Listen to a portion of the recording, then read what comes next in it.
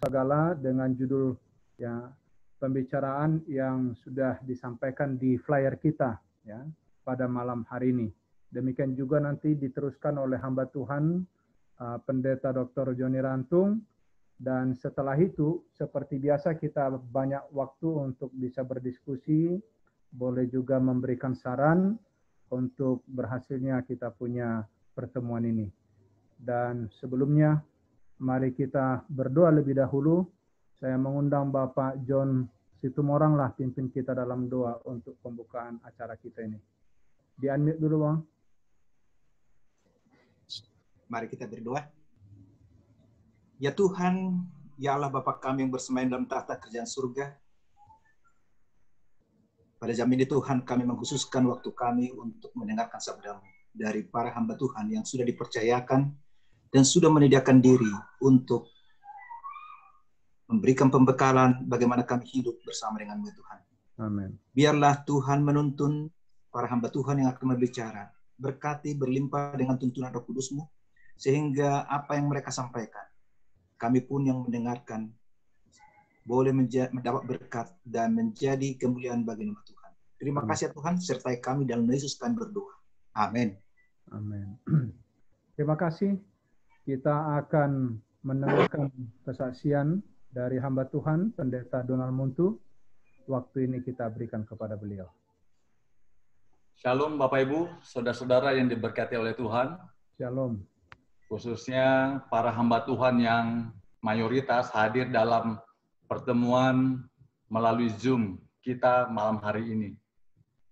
Uh, juga khususnya kepada dua narasumber malam hari ini yang pakar di bidangnya, Pendeta Dr. RW Sagala, pimpinan kami di era tahun 2014, 2016, dan juga Pendeta Dr. Joni Rantung, salah satu dosen kami saat kami ambil kuliah di UNAI.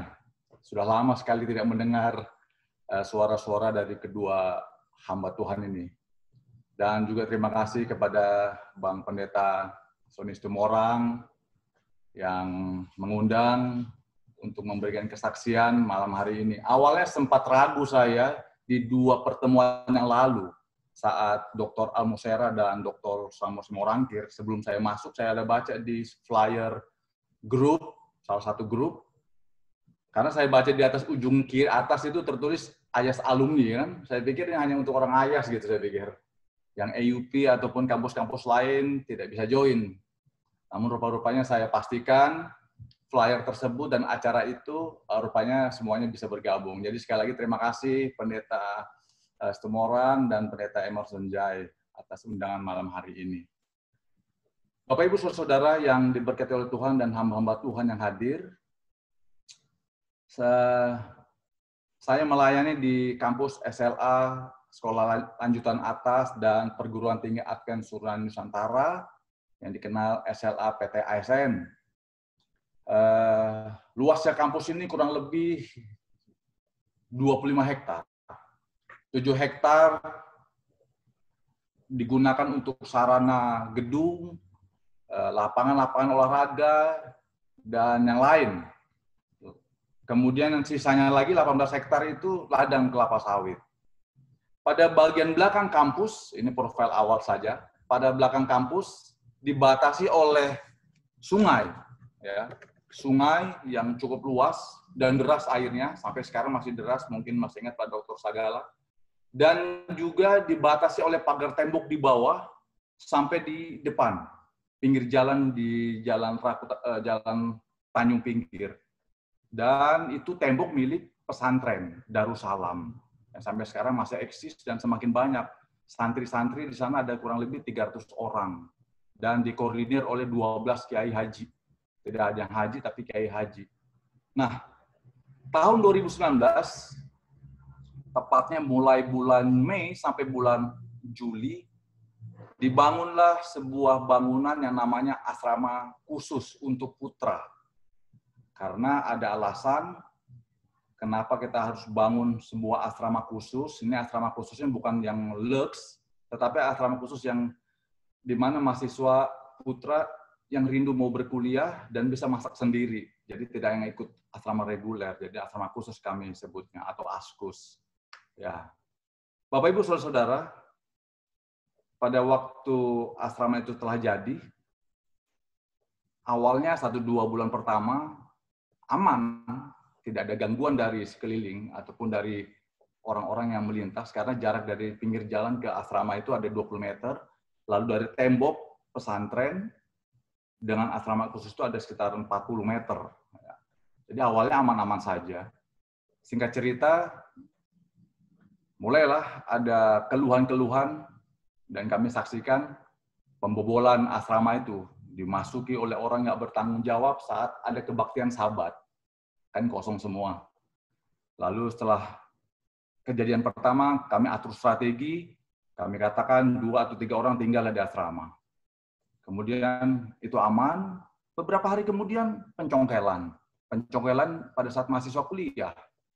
Kuliah siang hari dibuat. E, diganggu, kemudian ada lagi pelemparan batu-batu.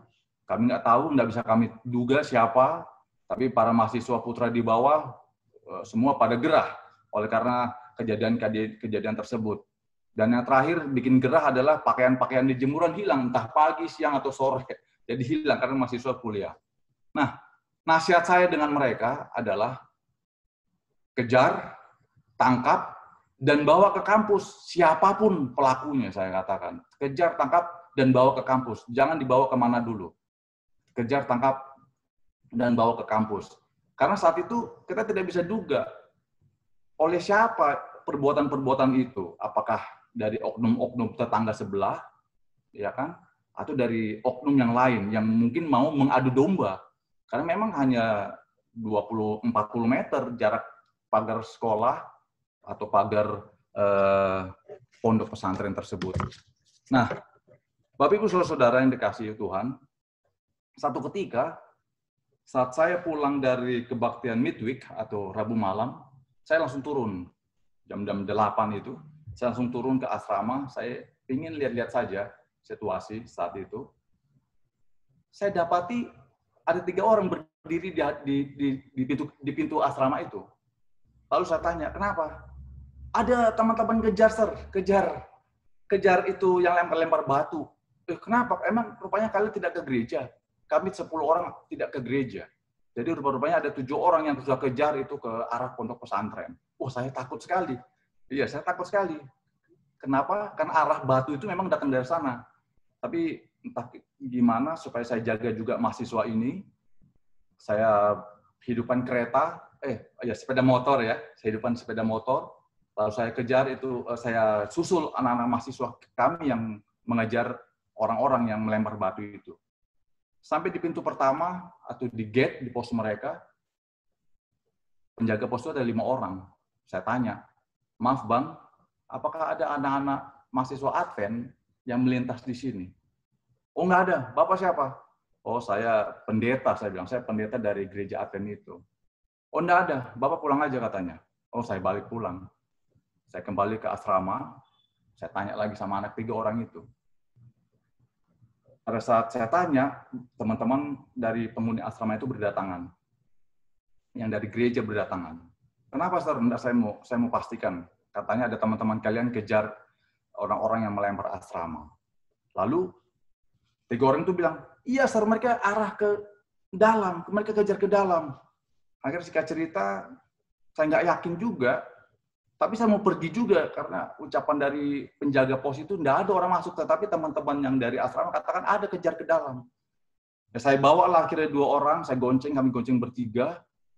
Rupa-rupanya untung aja, untung saya, saya untung saja saya lihat pada saat saya gonceng itu di jalan ada yang bawa uh, senjata tajam dari anak-anak kita ini kan.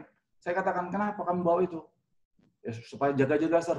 Mantap ada ada ada apa-apa. Bagaimana mungkin kita tiga orang, mereka di dalam 300 orang, saya bilang, tidak usah.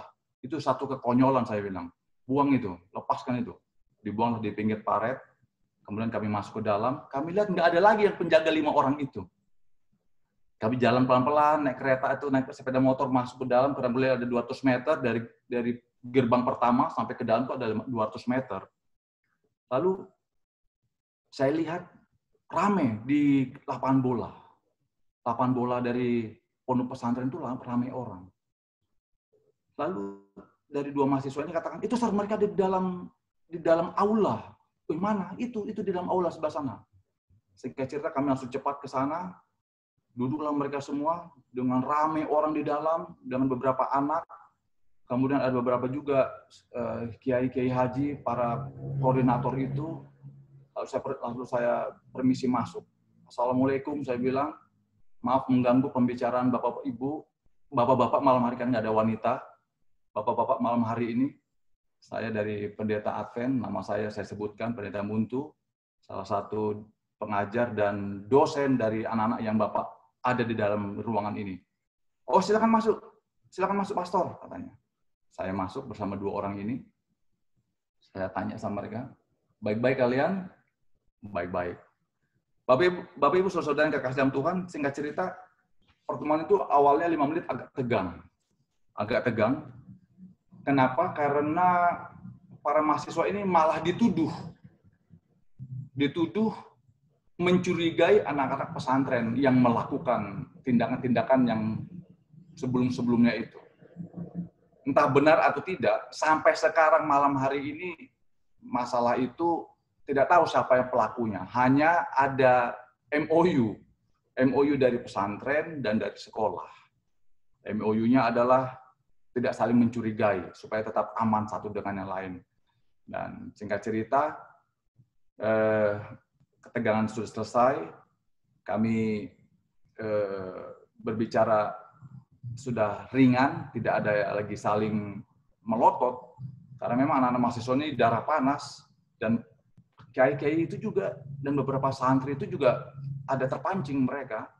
Jadi saya katakan, saya katakan kami datang ke sini merasa korban. Saya bilang kami merasa korban. Dan jika memang merasa korban juga di pihak pesantren merasa tertuduh, ya kita selesaikanlah kita. Jadi Bapak Ibu singkat cerita memang dibuatlah MOU tadi yang saya sudah katakan. Lalu eh, di dalam di akhir pembicaraan itu sudah aman, tertawa, tersenyum, berfoto bersama. Salah satu kiai haji namanya Pak Darman, dia katakan, "Pastor, jika ada kegiatan di kampus, undanglah kami." Luar biasa, undanglah kami. Singkat cerita ada ada kegiatan-kegiatan olahraga bersama, kami undang mereka bermain. Dan saya tanyakan juga, jika ada olahraga di dalam, undanglah juga Advent untuk berolahraga bersama. Ada beberapa kali kami bermain di dalam, tetapi mereka tidak pernah datang. Hanya kami yang sering datang ke ke lapangan bola dari uh, pondok pesantren tersebut. Lalu saya bisikan, beberapa kali kami datang, saya bisikan uh, sesuatu. Bawa traktat-traktat itu saya bilang, bawa traktat itu mana mungkin sir, bawa saja. Jadi dibawa buku-buku penuhan baru, dibawa ke sama santri-santri itu. Akhirnya ada beberapa teman anak kependetaan ini atau anak asrama khusus sudah ber, sudah akrab mereka. Jadi dia bilang kalau ada eh, seperti buku ini kejadian Maleaki Matius ini singkatan-singkatannya kalau kamu mau baca kasih saya saja atau saya kirim kitab suci saya bilang. Kalau kalian Al-Qur'an kami Alkitab. Nah, jadi satu dua pertemuan terjadi itu Bapak Ibu. Terjadi. Dan salah satu santri itu karena dia juga kepala, uh, bukan kepala, dia penggembala, penggembala kambing. Dan kambing kambing itu suka main di kebun kelapa sawit milik Advent. Jadi mereka berjanji untuk bertemu di kelapa sawit itu. Nah, tiga pertemuan, tiga pertemuan eh, belajarlah ini santri itu. Lalu saya merasa eh, rindu juga pengen tahu benar enggak atau bisa-bisanya si Marga Sihombing ini Hasibuan, Marga Hasibuan, anak mahasiswa kepedetaan ini belajar dengan santri itu.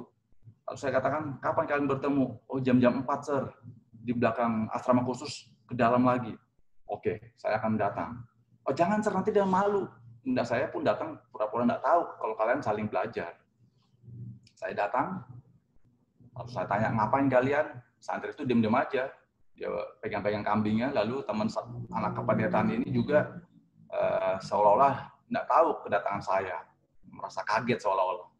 Oh, kami hanya senja gurau cerita-cerita, oke lah lanjutkan. Lalu saya duduk di situ barang lima menit, rupanya dilanjutkan sedikit oleh si Marga Hasibuan ini dengan anak santri ini. Bapak Ibu Saudara-saudara kekasih, tiga kali pertemuan si Marga Hasibuan anak kependetaan dengan santri ini tidak terjadi lagi sampai sekarang. Bukan karena corona, tapi rupa-rupanya dia diusir. Dia diusir dari santri itu. Karena ada mata-mata dari temannya si penggembala ini. Ya. Jadi si Hasibuan ini juga dia dilarang masuk. Dia juga dilarang masuk ke pondok pesantren itu oleh karena pengakuan dari si penggembala ini. Kalau dia sudah dekat dengan si Hasibuan dan Hasibuan ini kasih-kasih buku buku traktat yang 24 dok, apa eh, doktrin kecil-kecil itu 28 doktrin dia kasih ke situ. Lalu ketahuan lah itu jadi singkat cerita tidak boleh ada lagi olahraga. Nah ini dia. Tidak boleh lagi advent datang. Tidak boleh datang ke sana. Nah ada pesan, jadi saya bilang sama teman-teman saat itu, ya sudahlah, tidak usah kita paksakan masuk. Kalau itu yang terjadi. Paling tidak ada komunikasi lebih lanjut dengan mereka di luar dari pesantren atau di luar dari sawit kita ini, it's okay, terserah kalian. Jadi kita berdoalah dengan para mahasiswa yang ada di asrama khusus itu untuk si Yosep, nah ini dia, si Yosep ini si Yosep ini. Nama anak si penggembala saya ingat namanya si Yosep.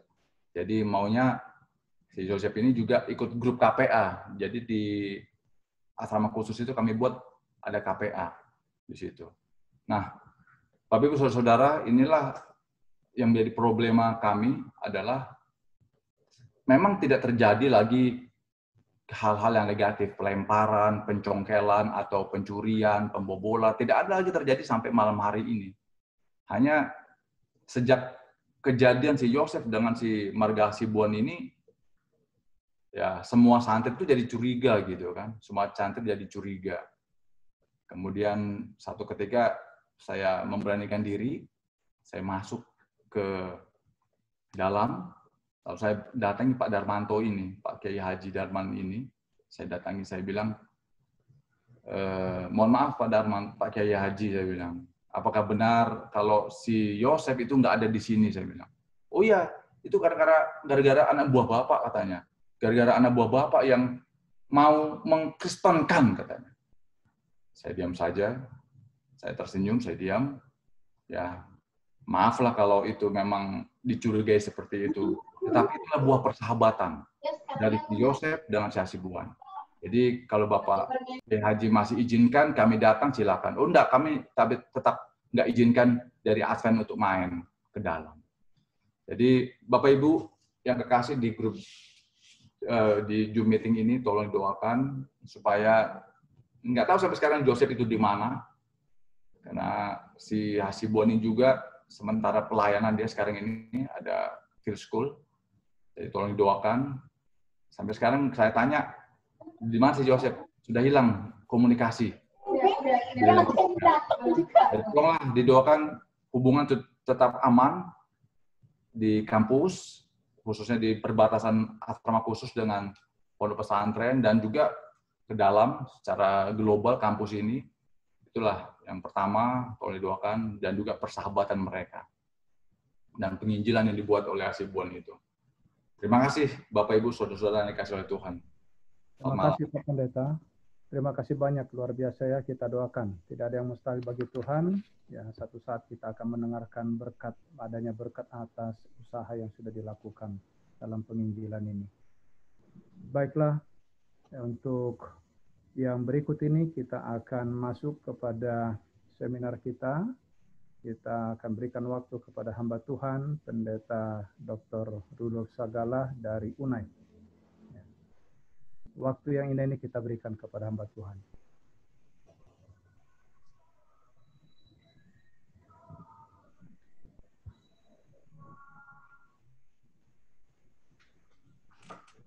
Dianut dulu Pak Pendeta.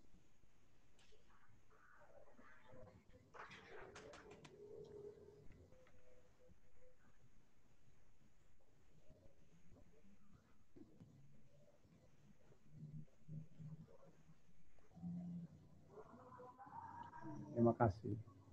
Boleh di dulu? Oh.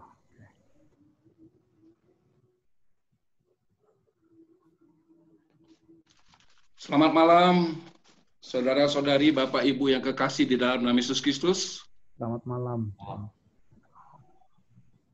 Uh, saya merasa senang dapat berkumpul bersama-sama dengan hamba-hamba Tuhan, para pendeta, ketua-ketua jemaat, dan anggota-anggota gereja yang ikut dalam pertemuan Zoom kita ini. Ini adalah pertemuan yang keempat, ya, kalau saya tidak salah, Pendeta Jai dan Pendeta Sony Stomorang. Ya. Uh, saya mengingat pertemuan pertama, pembicara kita pada waktu itu adalah Pendeta JS Paranginangin dan Pendeta HE Sinaga. Kemudian pertemuan uh, kedua, pembicara kita adalah Pendeta Dr. Almosera dengan Pendeta Samuel Semorangkir. Pertemuan ketiga, Pembicara kita adalah Pendeta Muldi Mambu dan Pendeta Brian Sumendap. Dan pada pertemuan keempat ini, saya diberi kesempatan untuk berbicara beserta dengan uh, Bapak Joni Rantung, ya, dosen saya yang ganteng. Dia akan membawakan pembicaraan pada malam hari ini. Sebenarnya saya sungkan-sungkan juga berbicara dengan bersama-sama dengan Pendeta Rantung, tapi kalau saya tolak nggak enak juga ya. Baiklah, uh, pada malam ini topik atau judul pembicaraan yang diberikan kepada saya oleh saudara pendeta Dr. Sony Situmorang adalah pelayanan inovatif gembala dan tua-tua jemaat, model penerapan servant leadership di era new normal. Ada dua kata yang merupakan kata kunci dari pembahasan kita pada malam hari ini, yaitu kata servant leadership dan kata new normal. Saya pikir masing-masing kita sudah pernah mendengar dan bahkan terbiasa mendengar kata servant leadership, yaitu uh, kepemimpinan pelayan atau pemimpin yang lain. Gereja membutuhkan para pemimpin yang tidak hanya akan memimpin, tetapi juga berfungsi sebagai pengasuh dan pengawas. Dan dua kata penting yang menjadi ciri-ciri kehidupan servant leadership ini adalah kerendahan hati. Ya, dia harus bisa menjadi contoh dari pemimpin yang sejati, bukan sebagai seorang pemimpin yang diktator, yang diktator, tetapi seorang pemimpin yang rendah hati. Para gembala, tua-tua jemaat, atau elders dipanggil untuk mempertunjukkan semangat pelayanan seperti ini, yaitu semangat pelayanan yang servant leadership. Orang-orang muda pada gilirannya dipanggil untuk tunduk pada kepemimpinan yang seperti ini. Ya, tidak perlu keras-keras, tidak perlu kasar di dalam mimpin, tetapi cukup sebagai seorang gembala atau memimpin dengan model kepemimpinan yang hamba, ya servant leadership.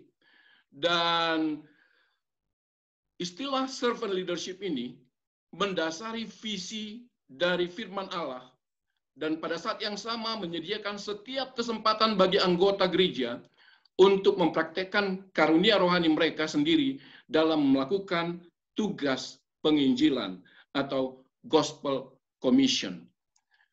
Ya. Tapi walaupun kita sering mendengarkan kata servant leadership, saya search di internet, saya tidak ketemukan istilah servant leadership di dalam tulisan-tulisan Nyonya White. Seorang penulis yang bernama dia tulis dalam bukunya Ellen White on Leadership. Dia tulis begini. Ellen White did not invent the term servant leadership. She put it to practice in her own life. Cindy Tutz mengatakan bahwa Nyonya White tidak pernah menciptakan atau tidak menemukan istilah, tidak menggunakan istilah servant leadership.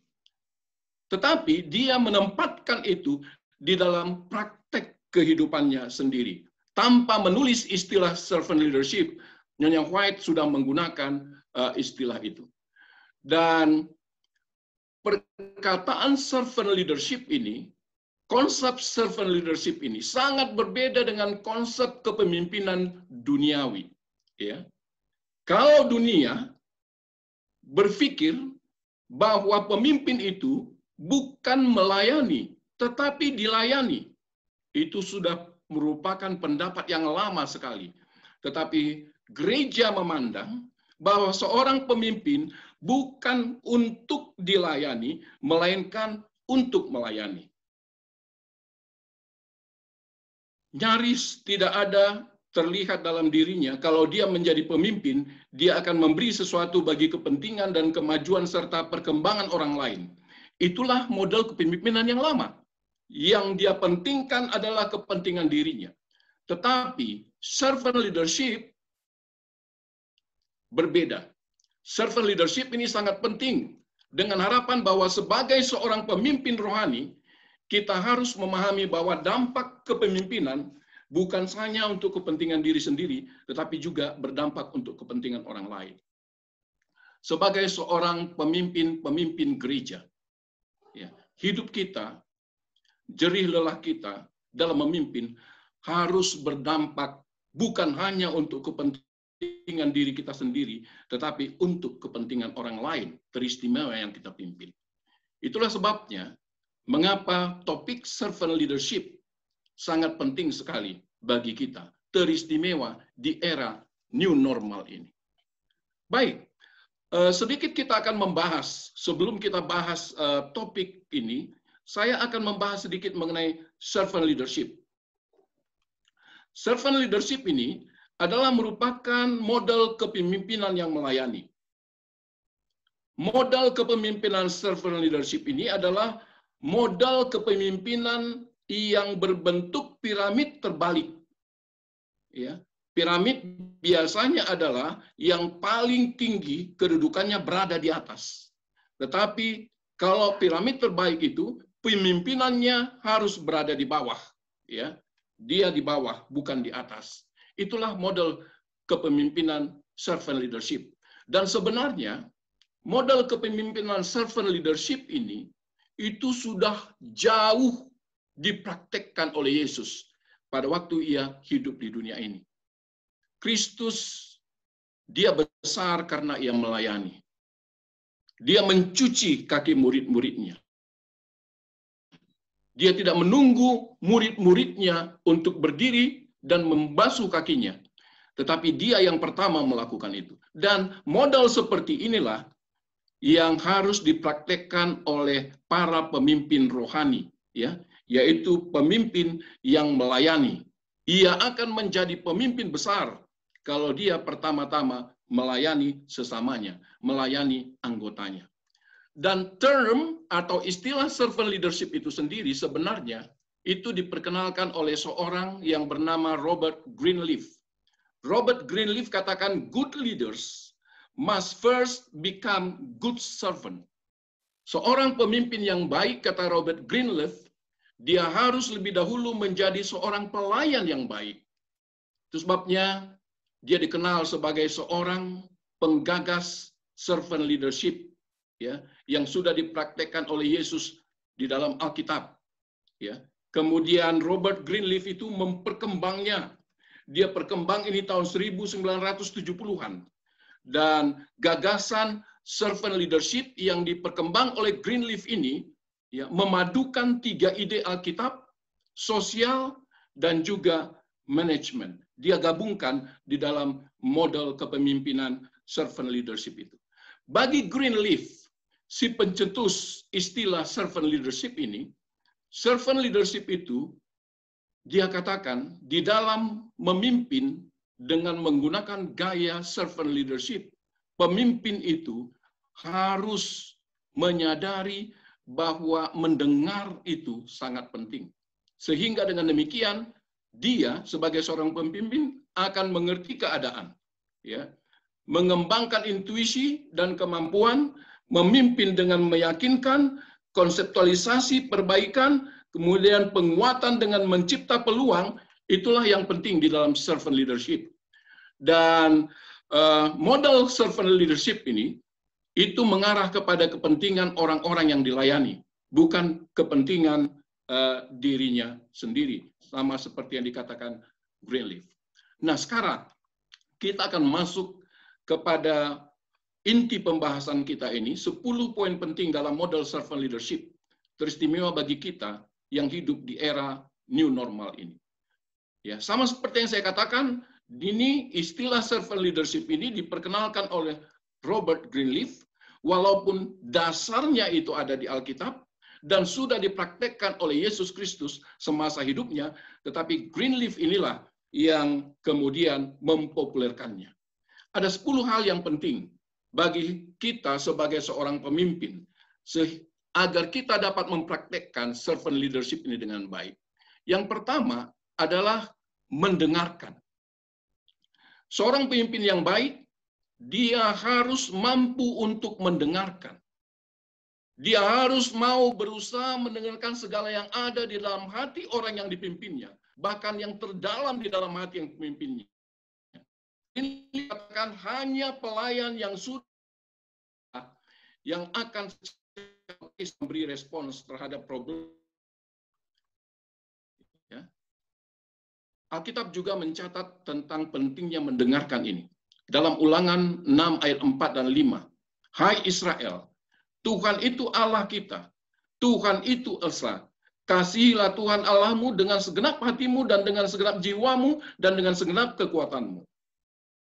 Kemudian, mendengarkan orang lain. Alkitab juga mencatat dalam Yakobus 1 ayat 19, setiap orang hendaklah cepat untuk mendengar, tetapi lambat untuk berkata-kata. Teristimewa kepada seorang pemimpin. Apa aplikasinya kepada kita sebagai seorang pemimpin? Sebagai seorang gembala, pemimpin yang memimpin jemaat, apalagi pada era new normal seperti sekarang ini, dia harus menjadi seorang pendengar yang baik. Jangan berusaha untuk mendominasi percakapan. Telinga, mata, hatinya harus dibuka lebar-lebar agar kita dapat memahami, mengerti, dan menyelami seluruh pergulatan, jeritan, harapan, kebutuhan anggota jemaat kita. Seorang pemimpin, seorang gembala, seorang tua-tua jemaat atau elders adalah merupakan rekan pelayanan. Oleh sebab itu, bisa kita mendengarkan apa saja keluhan, kebutuhan, apa saja pertolongan yang diperlukan. Seorang gembala jemaat atau ketua jemaat harus cepat tanggap. Yang kedua, Unsur kedua yang penting kita praktekkan di dalam servant leadership ini adalah empati. Ya, seorang servant leadership harus melatih keterampilan untuk mendengarkan dengan empati. Bukan hanya mendengarkan, kalau kita hanya mendengarkan, dengar dari telinga kanan keluar dari telinga kiri, kemudian lewat begitu saja percuma. Tetapi yang kedua, selain mendengarkan, kita harus dengarkan dengan penuh empati ya agar kita dapat menyelami segala hal dari apa yang diutarakan. Dengan empati jemaat sifat mereka kemampuan mereka keunikan mereka ya. Jangan sampai mereka merasa ditolak. Keterampilan ini akan membawa sukses seorang servant leader atau pemimpin yang melayani dalam tugasnya untuk memimpin. Yesus Kristus sebagai seorang servant leader, dia juga memiliki empati. Matius 14 14 mencatat tergeraklah hatinya oleh belas kasihan. Lukas 7 13 mengatakan ketika Yesus melihat janda itu tergeraklah hatinya oleh belas kasihan, ya. Dan Alkitab juga mencatat dalam Roma 12 ayat 15 sampai 16, Yesus pada waktu melayani orang lain, ya dia katakan bersuka cita dengan orang yang bersuka cita dan menangislah dengan orang yang menangis. Itu adalah merupakan intisari dari sifat empati. Gembala dan tua-tua jemaat harus memiliki empati ini kepada jemaat yang dilayani, khususnya dalam era COVID-19 dan new normal ini. Saudara, dalam COVID-19 dan new normal ini ada banyak orang-orang yang berhenti bekerja. Tidak ada lowongan pekerjaan lagi. Ada banyak kekurangan dan lain sebagainya. Jangan gunakan peristiwa COVID-19 atau new normal ini menjadi masa untuk bermalas-malas. Ya, sebagai seorang gembala atau tua-tua jemaat justru dalam kondisi seperti inilah kita mendabelkan pelayanan kita kepada orang lain. Saya senang. Salah seorang gembala di Jakarta saya lihat mantan murid saya kebetulan ya. Walaupun covid dia tidak peduli melawat dia ya. Dia kunjungi orang-orang di rumahnya. Dia foto dia masukkan ke Facebooknya. Saya pikir wow. Satu hal yang hebat. Rekan-rekanku tua-tua jemaat dan gembala jemaat justru dalam masa-masa seperti ini empati kita harus lebih ya, diperluas. Kemudian yang ketiga, ya, servant leaders juga harus mampu menyembuhkan. Kekuatan besar seorang servant leader adalah memberi penyembuhan. Seorang servant leader terpanggil berpeluang untuk menolong mereka semua. Menolong yang ditemui. Greenleaf menulis dalam perjumpaan antara pemimpin dengan yang dipimpin telah terjadi komunikasi yang halus. Alkitab juga menyebutkan bahwa Yesus Kristus adalah seorang tabib agung. Yesus itu adalah pembebas sejati. Ya, Dia pembela sejati. Kita juga aplikasinya bagi kita. Jangan jadikan peristiwa pandemik COVID-19 ini menjadi alasan untuk tidak memaksimalkan penggembalaan. Teman-temanku para pendeta, jangan.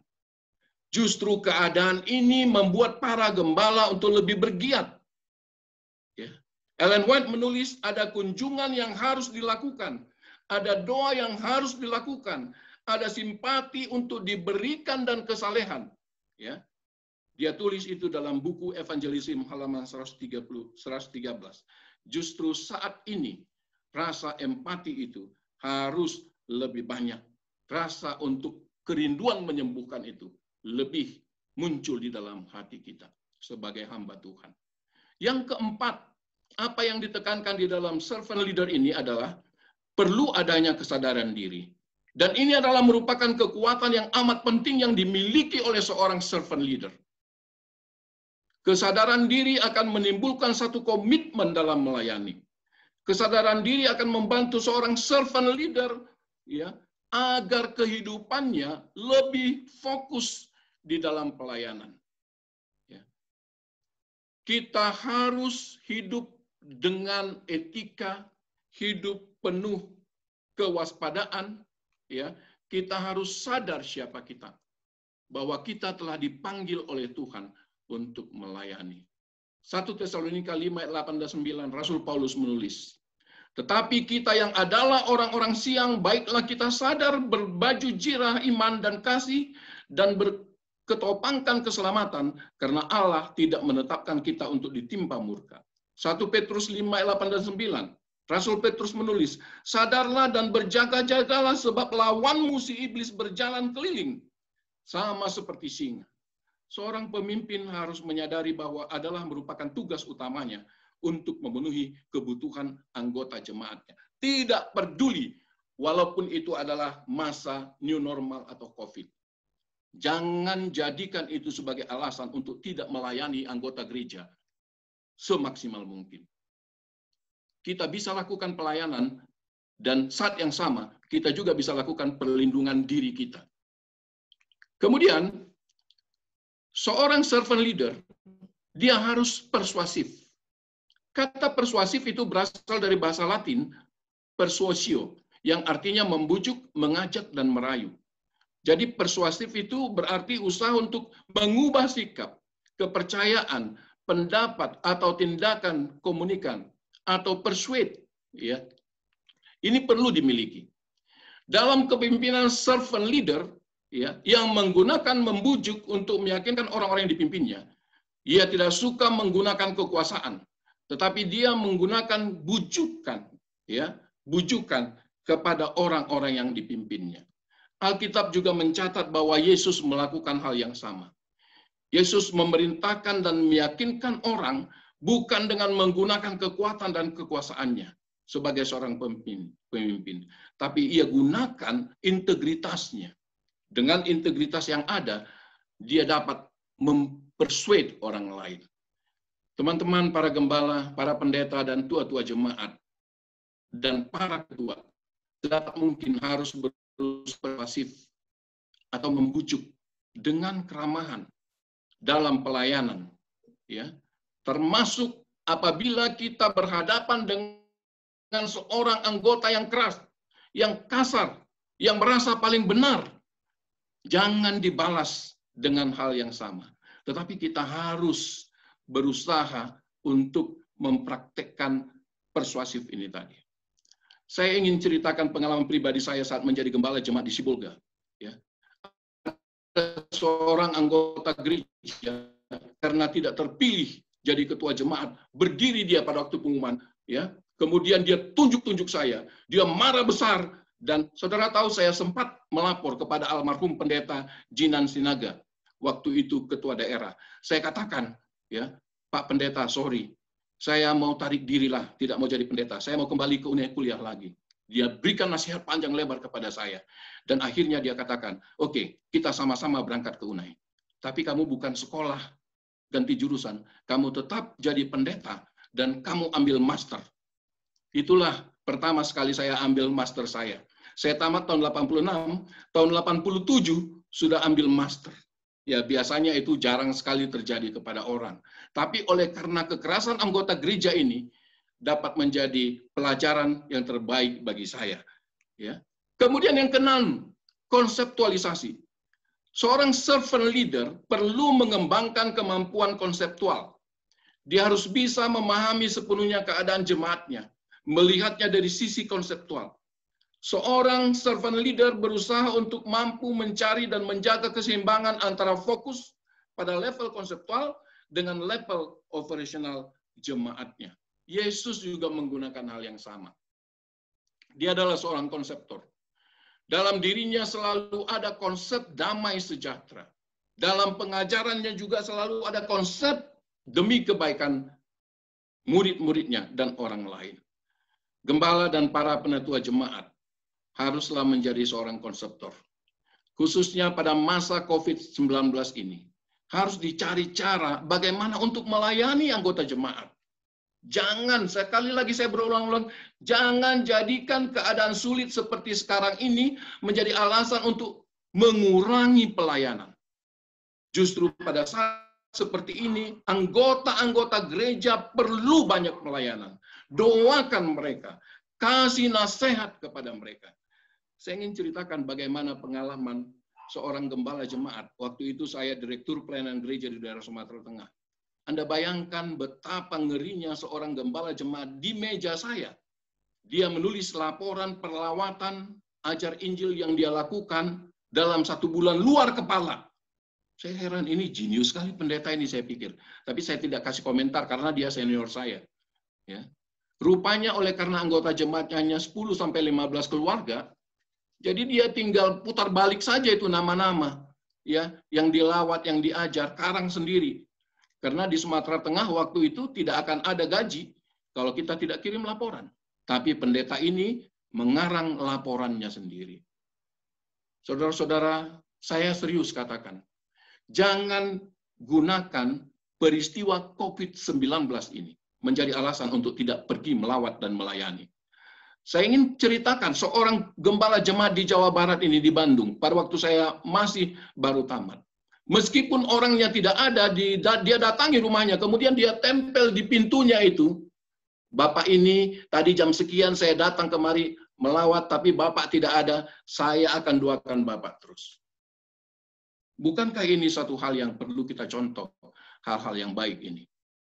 Kemudian yang ketujuh, yang penting, seorang servant leaders, dia harus melihat jauh ke depan. Harus mampu melihat bagaimana ini gereja saya ini akan maju. Harus bisa memprediksi ya apa yang akan terjadi. Kenapa?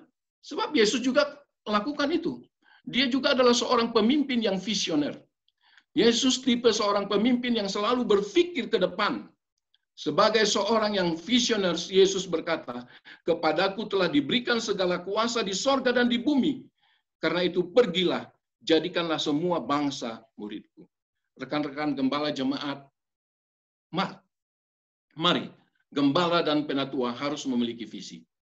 Mau di mana, mau dibawa ke mana jemaat ini? Bagaimana jemaat ini dalam waktu satu tahun, tiga tahun, lima tahun, sepuluh tahun ke depan? Apa yang akan terjadi? Apa yang harus saya lakukan kepada jemaat yang sedang menghadapi krisis dan kesulitan ini? Jenis pelayanan apa yang bagaimana yang harus dilakukan pada saat-saat seperti ini? Itu harus kita cari tahu. Yang kedelapan, komitmen untuk melayani. Seorang servant leader adalah pemimpin yang menjadi pelayan untuk memimpin orang-orang yang dipimpinnya. Ia akan melayani mereka dengan sebuah komitmen yang tinggi. Dia harus memimpin dengan keterbukaan, dengan membujuk, dengan meyakinkan, bukan bersifat mengontrol. Alkitab katakan itu. Dalam Galatia 5 ayat 13, ya.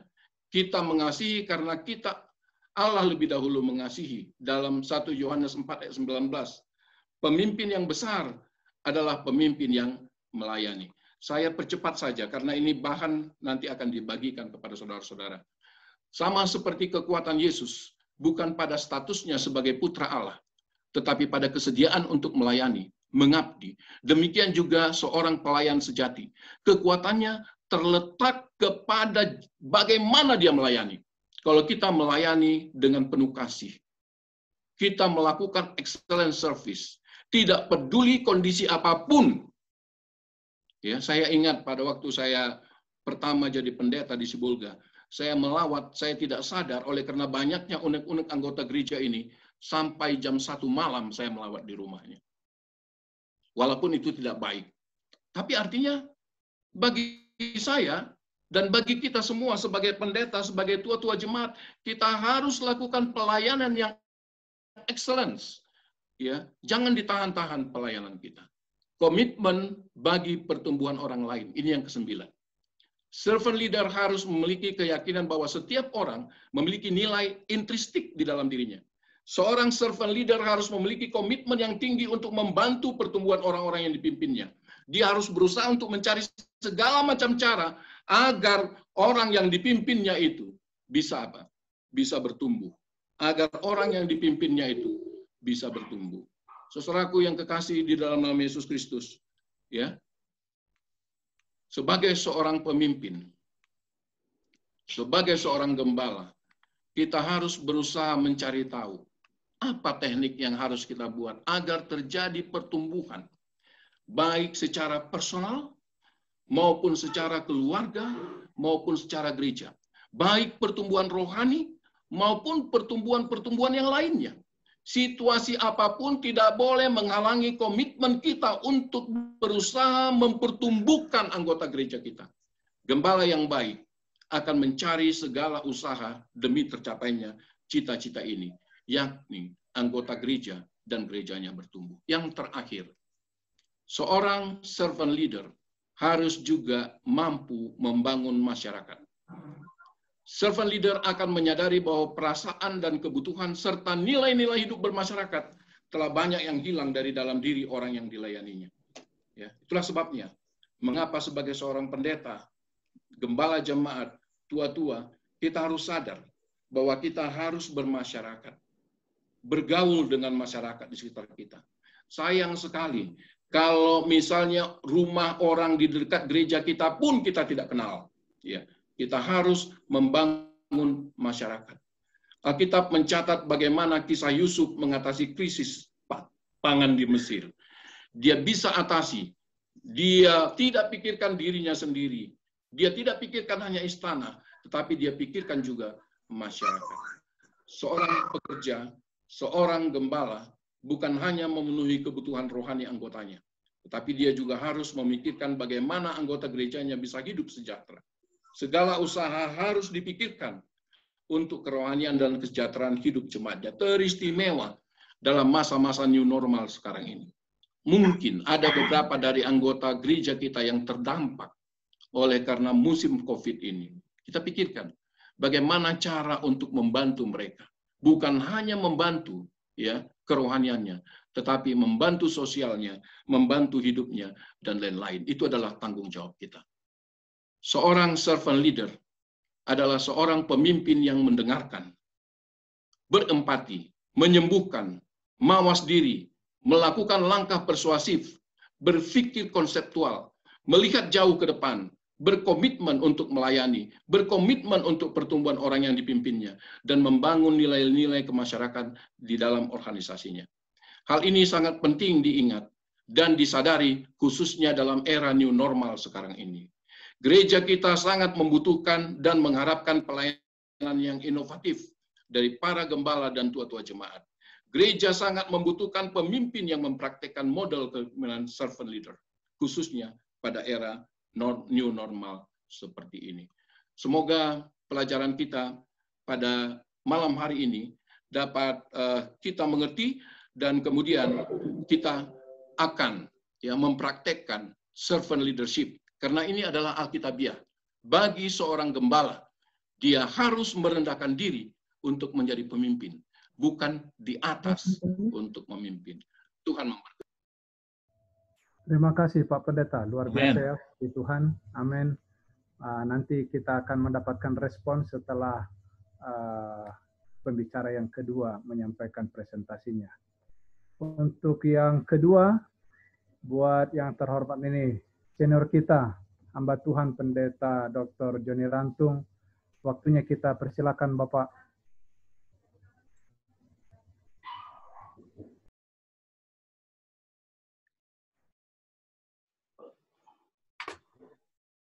Masih tetap segar bugar ini beliau. Bar. Puji Tuhan. Share screen ya. Boleh, silakan share. Saya sudah share, nggak ada. Silakan oh. Pastor, ini lagi ada, udah oke. Okay. Ya. Silakan share. Nggak ada. Di... Ada Gunung Batu, share. Gunung Batu. nggak, nggak kelihatan. Gambar apa itu, Sir? Hanya diklik dan gambarnya, Sir. Ada batu, ada batu. Jangan asal dibuat, Sir. Harus ada artinya.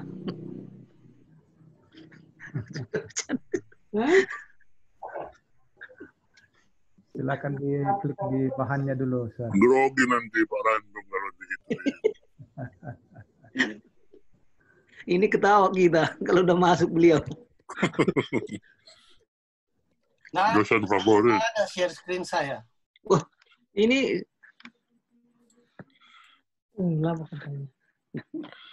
Bapak nyalain lah PowerPoint-nya.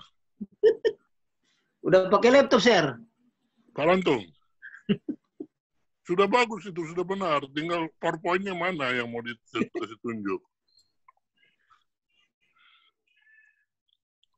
Aduh. Nah, lo dari baru mau buat PowerPoint, Pak.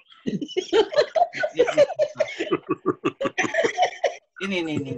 Oh iya, iya, iya. Ah, ah mantap. Mantap, Silakan, Pak. belajar pakai laptop. Ah, itu dia, Sir. Ya, jadi saya si corona, si corona berterima kasih diundang oleh Bapak Situmorang untuk bicara. Saya sebenarnya tidak pernah ngikut acara begini karena saya kan sudah warsa. Banyak sudah warsa. Banyak kali virusnya ini share merah lagi. ya, jadi saya lihat ada pimpinan kami Pendeta Saiman Saragi dari Uni. Aduh. Mantap. Apalagi Pendeta Samuel Simurangkir pimpinan saya ini. Aduh Aduh. yang sangat baik segala macam dia kasih sama saya. Dia kasih beras. Dia tahu saya sudah nak makan-makan satu minggu dia kasih beras. Dia kasih eh, apa lagi ya? Tabung gas, tabung gas dia kasih. Waktu itu. Pokoknya honor pembicara pasti dikasih Pak sama pendeta Sony. ada oh ada saya lihat Bapak uh, siapa? Mambu, Mambu yang baru ulang tahun ulang tahun ya Pak iya. Mampu. Nggak tahu masih Pernikahan ada. ya? Selamat ulang tahun, Pastor Moldi. Iya. Lans ada pendeta saya di sini. Pendeta John Situmorang. Puji Tuhan.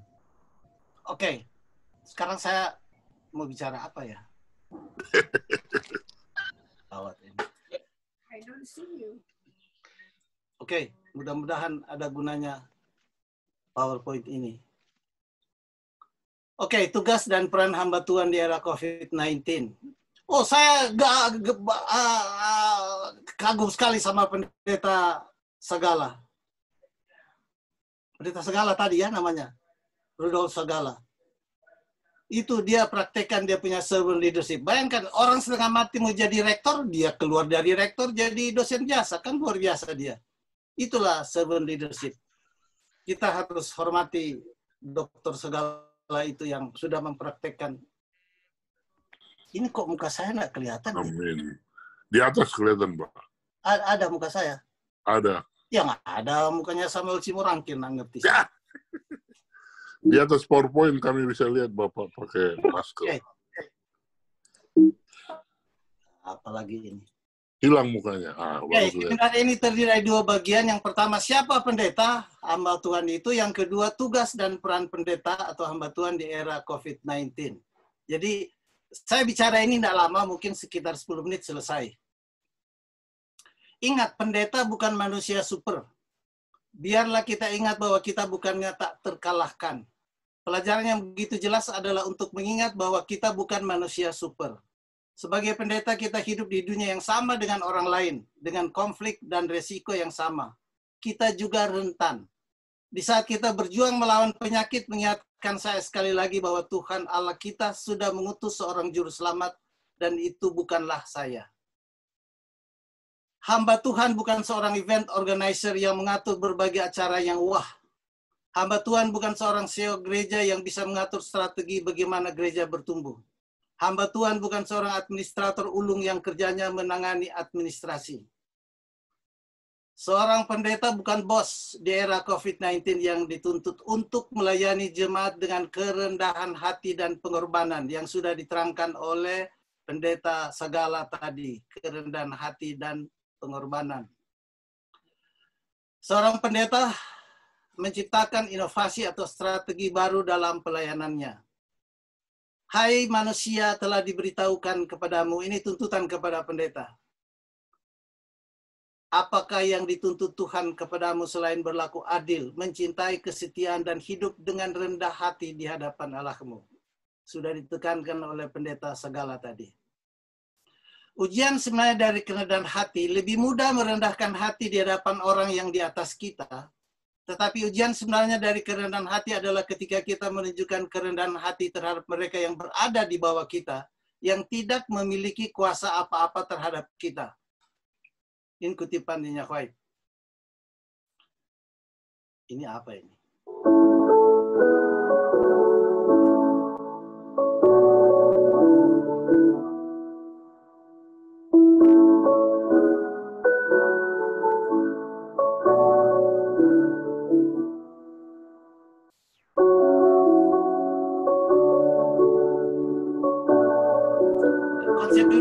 Kebesaran adalah kekuasaan.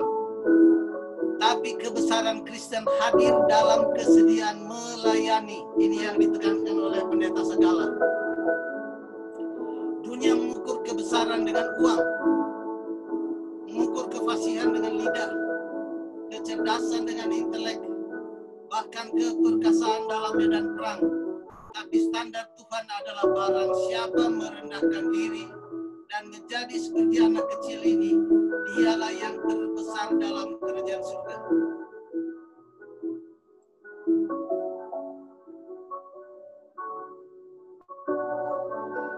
Dosa yang paling sukar disembuhkan. Tidak ada dosa yang lebih menjijikan atau yang lebih berbahaya terhadap jiwa manusia di hadapan Tuhan selain daripada dosa kesombongan dan merasa diri cukup baik. Dari semua dosa inilah dosa yang paling tak berpengharapan dan paling sukar untuk disembuhkan.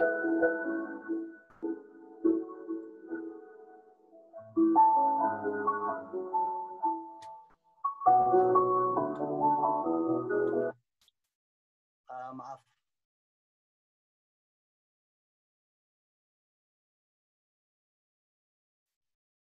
Dosa yang paling sukar disembuhkan ialah merasa diri cukup baik, sombong.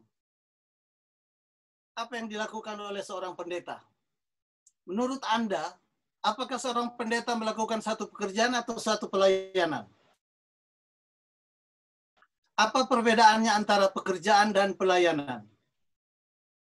Bila Anda melakukannya untuk mendapatkan nafkah, itu pekerjaan. Bila Anda melakukannya karena Tuhan, untuk Tuhan, itu pelayanan. Bila Anda berpikirkan hanya kesuksesan, itu pekerjaan. Bila yang Anda pikirkan hanya kesetiaan, itu pelayanan. Bila Anda berhenti karena tidak ada yang berterima kasih, itu pekerjaan. Bila Anda terus bekerja walaupun tidak pernah dikenal siapa pun, itu pelayanan.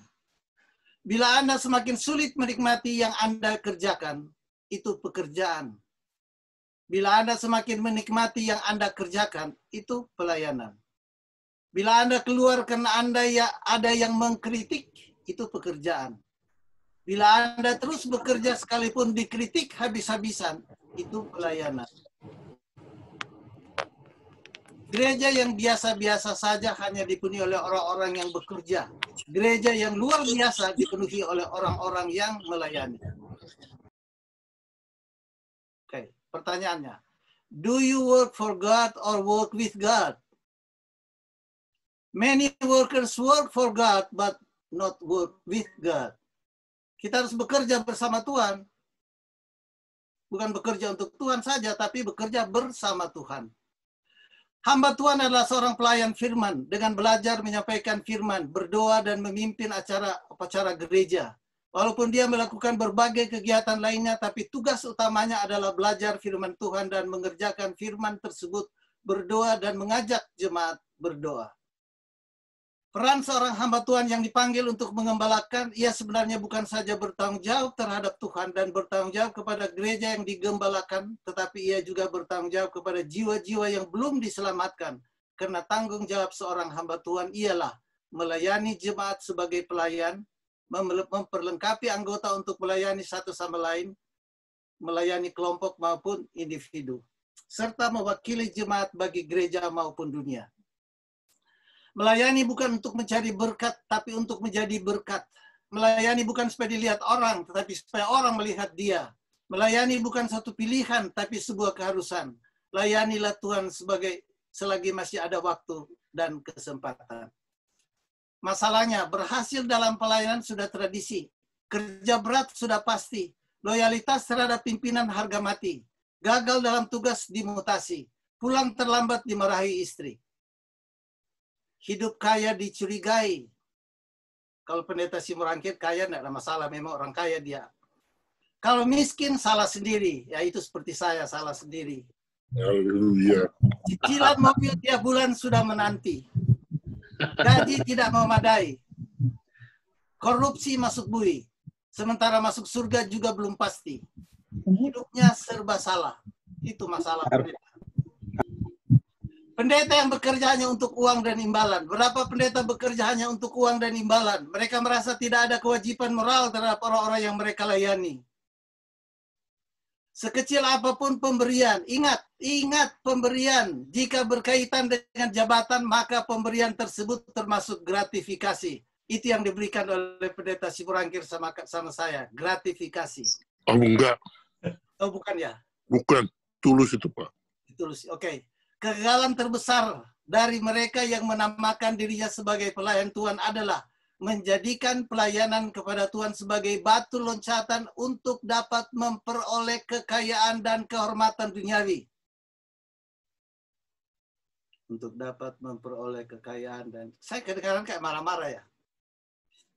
We need leaders not in love with money, but in love with justice.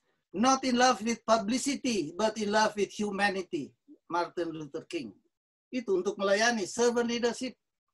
Not in love with publicity, bukan supaya terkenal, dikenal, dikenal orang. Tapi karena kita mengasihi sama manusia. Banyak yang salah jalan tapi merasa tenang karena banyak teman yang sama-sama salah. Beranilah menjadi benar meskipun sendirian. Ini siapa ya? Baharudin Lopa. Do you really know what is right and what is wrong? Dalam pelayanan Anda sebagai pendeta. Do you know what is right, what is wrong? Do you choose which, which one is right, which one is wrong? Think before you act. Berpikir sebelum Anda mengambil keputusan. Jabatan seseorang tidak membuatnya satu titik atau nokta lebih besar dalam pemandangan Allah karena hanya tabiat saja yang Allah nilai. Jabatan tidak membuat satu titik atau nokta lebih besar dalam pemandangan Tuhan. Tapi yang dilihat Tuhan tabiat. Apa artinya ijazah yang bertumpuk jika kepedulian dan kepekaan tidak ikut dipupuk? Apa gunanya sekolah tinggi-tinggi jika hanya perkaya diri sendiri dan keluarga? Allah tidak menanyakan apakah kita memiliki pendidikan atau kefasihan lidah. Apakah kita memiliki kesanggupan memimpin, mengontrol, atau memerintah. Tapi dia menanyakan apakah kita menunjukkan tabiat seperti Kristus saat kita hidup di dunia ini. Apakah kita berjalan dengan rendah hati sehingga dia dapat mengajarkan kita jalan-jalannya. Jangan lupa rendah hati itu yang ditekankan oleh pendeta segala tadi. Servant leadership harus rendah hati. Yang terbesar dalam pemandangan Tuhan, mereka yang memiliki roh Kristus tidak akan memiliki ambisi untuk menduduki posisi lebih tinggi dari saudara seiman. Mereka yang menganggap diri sendiri kecil adalah terbesar dalam pemandangan Tuhan. Ingat itu Pak Siburangkir. Jadi ketua conference nanti jangan lupa sama saya. Tapi posisi itu jangan lupa. Bukan itu yang paling penting, yang dilihat Tuhan. Amin. Yesus menegaskan bahwa dalam kerajaan rohani kedudukan atau jabatan adalah pemberian, penunjukan Allah Bapa, bukan hasil jeripaya mengejar kedudukan tersebut. Kedudukan adalah panggilan Allah dan bukan hasil ambisi yang diusahakan manusia sendiri. Kedudukan adalah penunjukan Allah. Kutukan terbesar di antara pendeta kita dewasa ini adalah sedang mencari tempat tertinggi penuh kepentingan diri dan penghormatan diri. Tidak merasakan kebutuhan mereka akan anugerah yang konstan dari Kristus untuk bekerja dengan segala usaha mereka. Orang sukses bersama-sama meraih kemenangan, saling bantu dengan orang lain. Orang gagal meraih kemenangan dengan menjatuhkan orang lain. Jangan kita berusaha mendapat kemenangan dengan cara menjatuhkan orang lain. Majulah tanpa menyingkirkan orang lain. Naiklah tinggi tanpa menjatuhkan orang lain. Dan berbahagialah tanpa menyakiti orang lain. Bagi mereka yang dipanggil menjadi pelayan atau pesuruh Tuhan tidak akan mengejar kehormatan untuk dirinya sendiri. Kasih akan diri sendiri telah ditelan habis oleh kasih kepada Kristus. Ah, saudara-saudara mungkin sudah pernah lihat ini. Ini saya dapat dari WA dan saya minta izin. Orang pilihan Allah itu berarti orang yang sudah dikhususkan, ditentukan oleh Allah. Lalu yang menjadi pertanyaan adalah, siapakah orang-orang yang disebut sebagai orang pilihan Allah? Apakah saudara atau saya yang dapat disebut sebagai salah satu orang pilihan Allah. Ada tujuh cara atau sikap bagaimana untuk menjadi orang pilihan Allah. Yang pertama, bersedia menjadi hamba Allah. Yang menjadi banyak persoalan, kita mau disebut sebagai orang pilihan Allah, tetapi belum memiliki kerinduan belum memiliki kesiapan hati untuk menjadi seorang hamba Allah. Lalu, mungkinkah kita dapat disebut sebagai orang pilihan Allah? Seringkali pengaruh khotbah yang disampaikan dari mimbar bertentangan dengan khotbah yang disampaikan lewat kehidupan orang yang mengaku sebagai pembela kebenaran. Kata Nyonya White. Jadi khotbah kita tidak sesuai dengan kehidupan kita. Hidup bukanlah tentang siapa yang terbaik, tetapi siapa yang bisa berbuat baik dan bukan pura-pura baik. Yang dibutuhkan dunia adalah tidak membutuhkan orang yang memiliki kecerdasan yang luar biasa. Tetapi yang lebih banyak dibutuhkan dunia ini adalah orang yang memiliki karakter yang mulia. Iblis itu bukan ateis, bukan liberal, bukan komunis, melainkan dulunya dia adalah hamba Allah yang taat. Makanya tidak usah heran kalau yang kelakuannya mirip iblis justru orang yang kelihatan taat. Mengapa tugas seorang gembala sangat penting dewasa ini? Karena setan sedang bekerja keras untuk merusak gereja kita. Musuh sedang bekerja untuk memecah, mencari, mencerai beraikan. Sekarang ini dan tidak pernah terjadi sebelumnya, setan membuat usaha yang pasti untuk mencerai beraikan kekuatan kita. Gereja Kristus terus-menerus berada dalam bahaya. Setan sementara mencari cara untuk membinasakan umat Allah. Setan mengetahui bahwa dia tidak dapat membuat kita meragukan kebenaran. Argumentasi setan tidak berkuasa dan tidak berarti dalam menentang kebenaran. Satu-satunya cara setan sekarang ini ialah memisahkan kita dari sahabat-sahabat dekat dengan demikian melemahkan umat-umat Allah, anak-anak Tuhan. Janganlah kita membuat setan mengatakan mengenai anggota gereja kita. Lihat orang-orang ini mereka mengatakan berada di bawah panji Kristus tetapi membenci satu sama lain. Ini yang diceritakan pendeta pendeta siapa? Segala tadi. Tidak ada yang perlu kita takutkan dari mereka sementara mereka menggunakan kekuatan mereka untuk berkelahi satu sama lain daripada berperang melawan kekuatan kita. Iya, kalau berperang satu sama lain ya hancurlah kita. Setan berharap untuk melibatkan umat Allah yang sisa dalam keruntuhan yang menyeluruh yang segera akan datang ke dunia ini. Sementara kedatangan Yesus telah makin mendekat, ia akan lebih memperbesar usahanya untuk menjatuhkan mereka. Laki-laki dan perempuan akan bangkit serta mengaku bahwa mereka mempunyai terang baru. Ah, ini ya enggak usahlah. Itu sebabnya tanggung jawab gembala, gembala atau pendeta dalam memelihara kerugian jemaat sangat penting. Oleh karena itu seorang pekerja Kristus harus suci dalam percakapan dan perbuatan. Usul saya untuk pendeta gembala dalam menghadapi COVID-19. Itu tadi sudah selesai ya, sekarang bagian kedua. Tugas peran hamba Tuhan di era COVID-19. Tugas dan peran hamba Tuhan di era COVID-19. Kata peran dalam Kamus Bahasa Indonesia artinya tindakan yang dilakukan oleh seorang dalam satu peristiwa. Berbicara tentang peran hamba Tuhan termasuk sesuatu yang kompleks. Dalam hal ini para hamba Tuhan perlu mengetahui dan mengerti dengan jelas apa yang diharapkan oleh Allah, anggota-anggota, organisasi, dan oleh diri mereka sendiri. Prioritas yang muncul sekarang adalah jelas. Pertama, dalam Galatia 6.10 kita perlu berbuat baik kepada semua orang, terutama bagi mereka yang termasuk dalam keluarga diri dari orang percaya. Kita harus sangat waspada untuk memastikan bahwa tidak ada saudara atau saudari yang menderita secara finansial, emosional, atau sosial.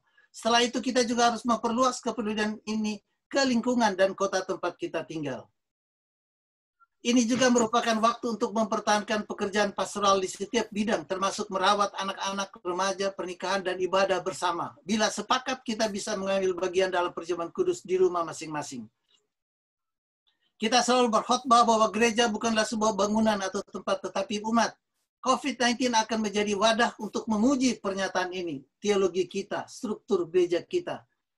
Gereja harus berusaha memberikan bantuan sosial untuk mengurangi dampak krisis di antara keluarga-keluarga yang berkekurangan termasuk ke tetangga.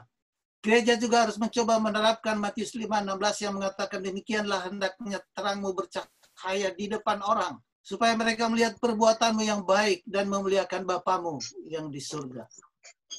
Prioritas yang muncul sekarang adalah pertama, dalam Galatia 6 ayat 10 kita perlu berbuat baik kepada semua orang terutama bagi mereka yang termasuk dalam keluarga diri orang percaya. Kita harus sangat waspada untuk memastikan bahwa tidak ada saudara atau saudari anggota kita yang menderita secara finansial, emosional, atau sosial. Selain itu kita juga harus memperluas kepedulian ini ke lingkungan dan tempat kita tinggal. Saya mau ingatkan kata-kata ini, tidak ada saudara-saudari anggota kita yang menderita secara finansial, emosional, atau sosial. Ada anggota kita yang sudah menderita secara finansial. Tapi pada waktu dia mau minta tolong ke pendeta, pendeta matikan teleponnya. Saya tidak mau bilang gereja mana dan siapa. Pertama adalah bantuan darurat, memberikan bantuan keuangan kepada keluarga yang paling rentan. Yang kedua adalah program distribusi makanan, mengirimkan produk segar setiap satu atau dua minggu dan mengirimkan makanan yang tidak mudah busuk di hari-hari yang akan datang. Saya dengar Surabaya, mereka membantu kurang paling sedikit 600 anggota yang uh, punya masalah. Conference yang membantu ya, 600 saya dengar. Ketiga adalah pelayanan yang terkait dengan alat kesehatan. Jika memungkinkan, sekiranya ada anggota jemaat yang bisa menjahit masker atau membuat shield, saya tidak tahu bahasa Indonesia apa ini, shield dari plastik. Dan kalau perlu, semacam gaun rumah sakit dan topi. Semua itu dibuat dengan bahan baku yang mudah ditemukan dan diberikan kepada yang memerlukan. Itulah tugas kita menjadi terang. Di jemaat kita juga mungkin harus dengan tergesa-gesa mengucapkan selamat jalan kepada orang percaya yang mendahului kita. Sebagian besar atau beberapa dari mereka yang telah pergi mendahului kita dalam beberapa waktu terakhir ini adalah saudara kita, orang tua atau kakek, nenek dari generasi yang sudah berjuang untuk membangun jemaat gereja kita. Ada yang meninggal sendirian di kamar rumah sakit, mengucapkan selamat tinggal kepada orang yang mereka cintai melalui telepon, hanya melalui telepon meskipun kita memiliki harapan bersama yang melampaui kematian, kematian, cara mereka meninggalkan kita masih meninggalkan luka, sakit hati, sedih, pedih. Jadi kita perlu melayani mereka yang ditinggalkan, keluarga yang ditinggalkan. Kita harus belajar untuk menemani orang-orang Kristen yang dalam proses berkabung karena mungkin staf kesehatan meminta para keluarga untuk mengizinkan pembakaran keluarga mereka. Jadi tidak dikuburkan, dibakar penggalian eh, panggilan telepon yang memberikan instruksi tentang bagaimana cara mengambil abu dan laporan kematian. Seolah-olah para korban COVID-19 tiba-tiba menghilang begitu saja dari kehidupan kita. Kasihan sekali. Banyak yang tidak diizinkan untuk bersama dengan orang yang mereka cintai di saat-saat terakhir mereka harus berurusan dengan perasaan bersalah dan marah. Puluhan atau mungkin ratusan tidak akan pernah melihat tubuh orang yang mereka cintai. Bahkan peti matinya pun tidak saya tidak tahu sekarang sudah bisa apa belum.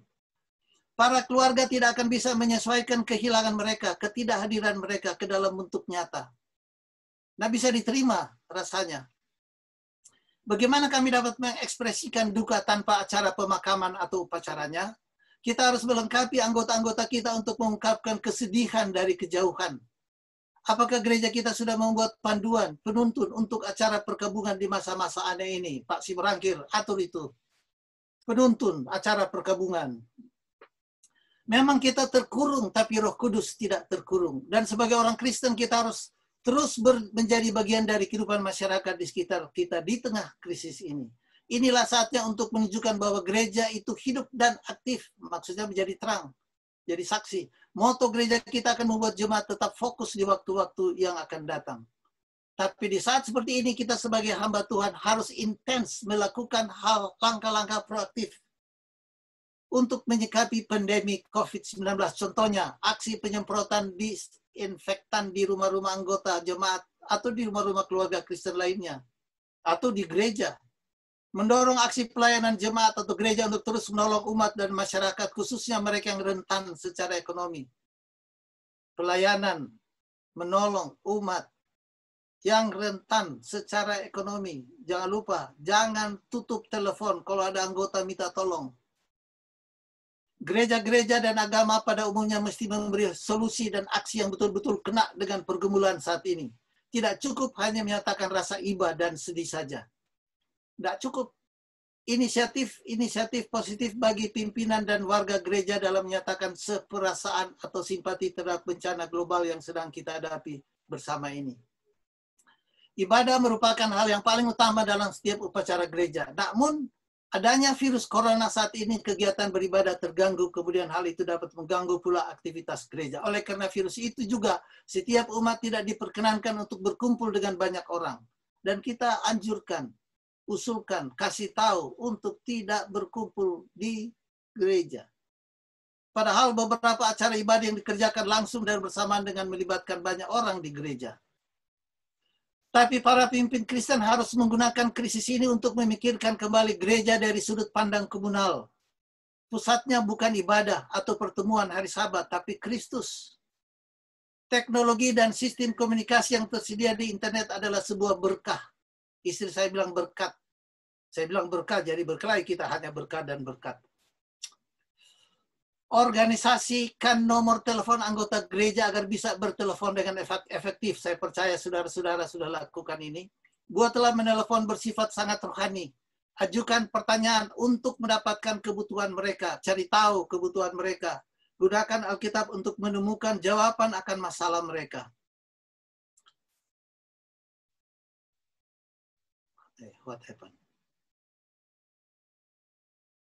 Kebangunan rohani melalui perlawatan. Nah, jadi pendeta pendeta segala bilang ada mantan mahasiswanya yang berani melawat anggota itu luar biasa. Saya lihat juga pendeta Ayun berani sekali pergi membawa buku-buku. Organisasikan nomor telepon anggota gereja agar bisa bertelepon dengan aktif, efektif. Buatlah menelpon bersifat sangat rohani. Ajukan pertanyaan untuk mendapat, mendapatkan kebutuhan mereka. Gunakan Alkitab menemukan jawaban akan masalah mereka. Untuk menjaga hubungan dengan jemaat, untuk menguatkan para anggota-anggota gereja, untuk memberikan harapan kepada anggota-anggota melalui saluran-saluran komunikasi. Itu media sosial. What happened?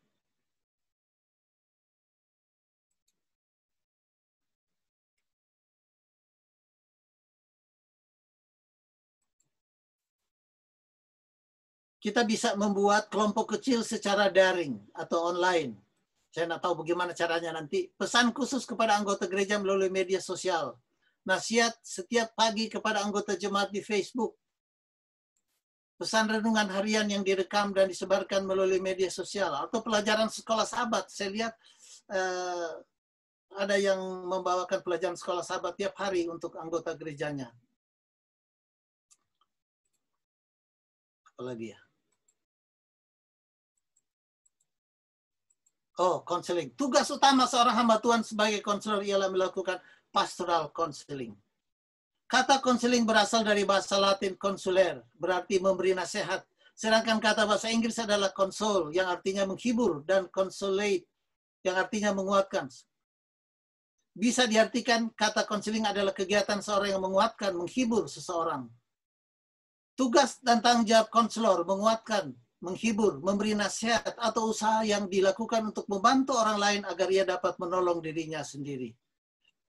Jadi fungsi dari seorang konselor yaitu menyembuhkan, healing, menopang, sustaining, membimbing, guiding, mendamaikan, reconciling, dan memelihara, nurturing. Adapun bentuk-bentuk pelayanan yang diusulkan untuk bisa dilakukan adalah percakapan, kunjungan ke rumah, kalau berani, harus berani ya. Kunjungan ke rumah sakit kalau berani.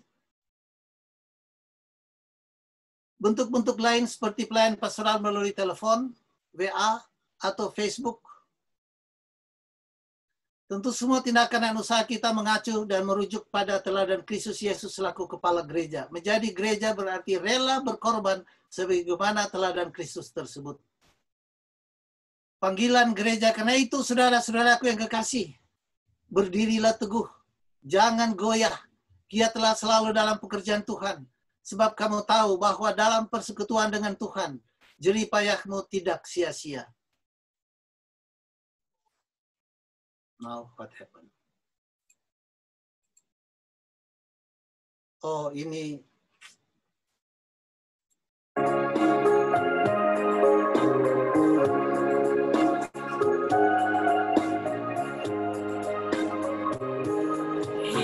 ini adalah kesempatan.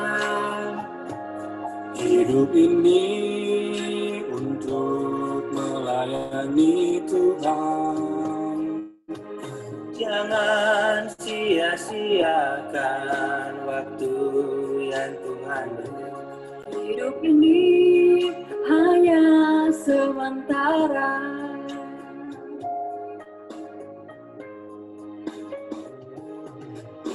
Ini adalah kesempatan. Hidup ini untuk melayani Tuhan. Jangan sia-siakan waktu yang Tuhan beri. Hidup ini harus jadi berkat.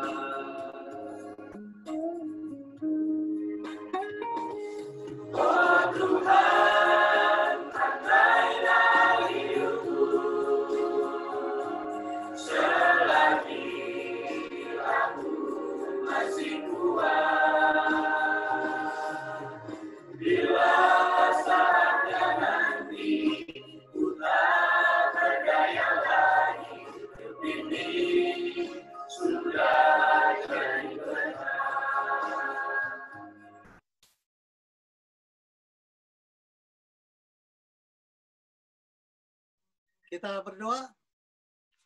Bapa kami dalam surga, kami datang pada Tuhan pada malam hari ini.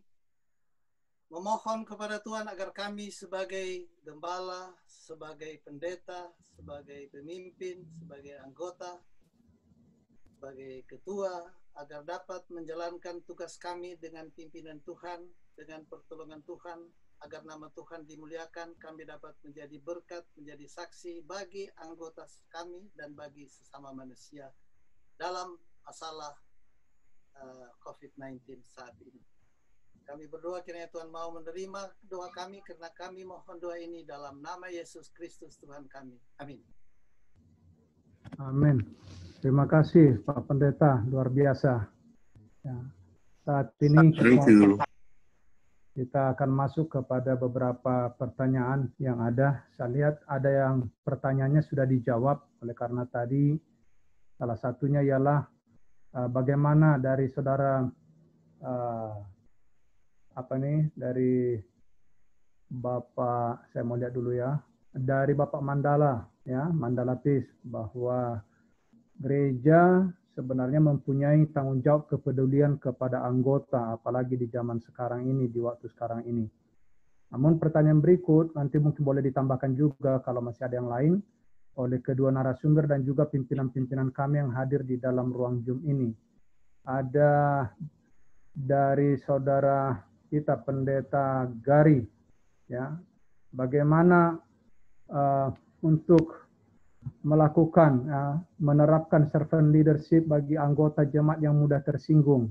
Mungkin boleh ada kasih masukan dari uh, pembicara kita, dari pendeta Sagala dan juga pendeta Rantung. Silakan Bapak-bapak narasumber dan nanti kita minta dari yang lain kalau ada masih perlu.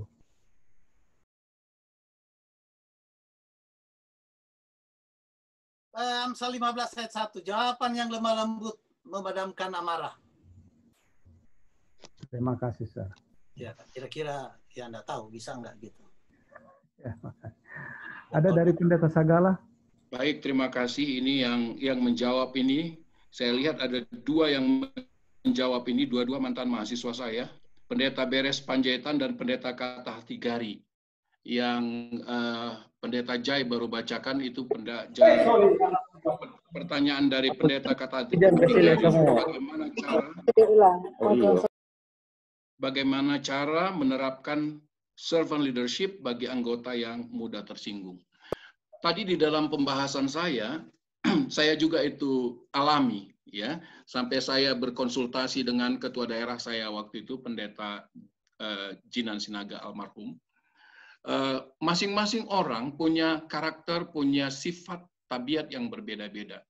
Sebagai seorang gembala jemaat atau penatua jemaat, kita harus bisa menghadapi semua jenis karakter orang ini. Ya, bagaimana caranya? Dengan cara merendahkan hati, ya merendahkan diri, menghampakan diri sama seperti apa yang dilakukan oleh Yesus. Ya, jangan orang yang gampang emosi, ya gampang tersinggung, kita balas dengan hal yang sama tidak. Bila perlu kita doakan mereka. Saya pengalaman menjadi gembala jemaat hanya sebentar, hanya lima tahun. Ya, pengalaman menjadi direktur pelayanan gereja juga lima tahun.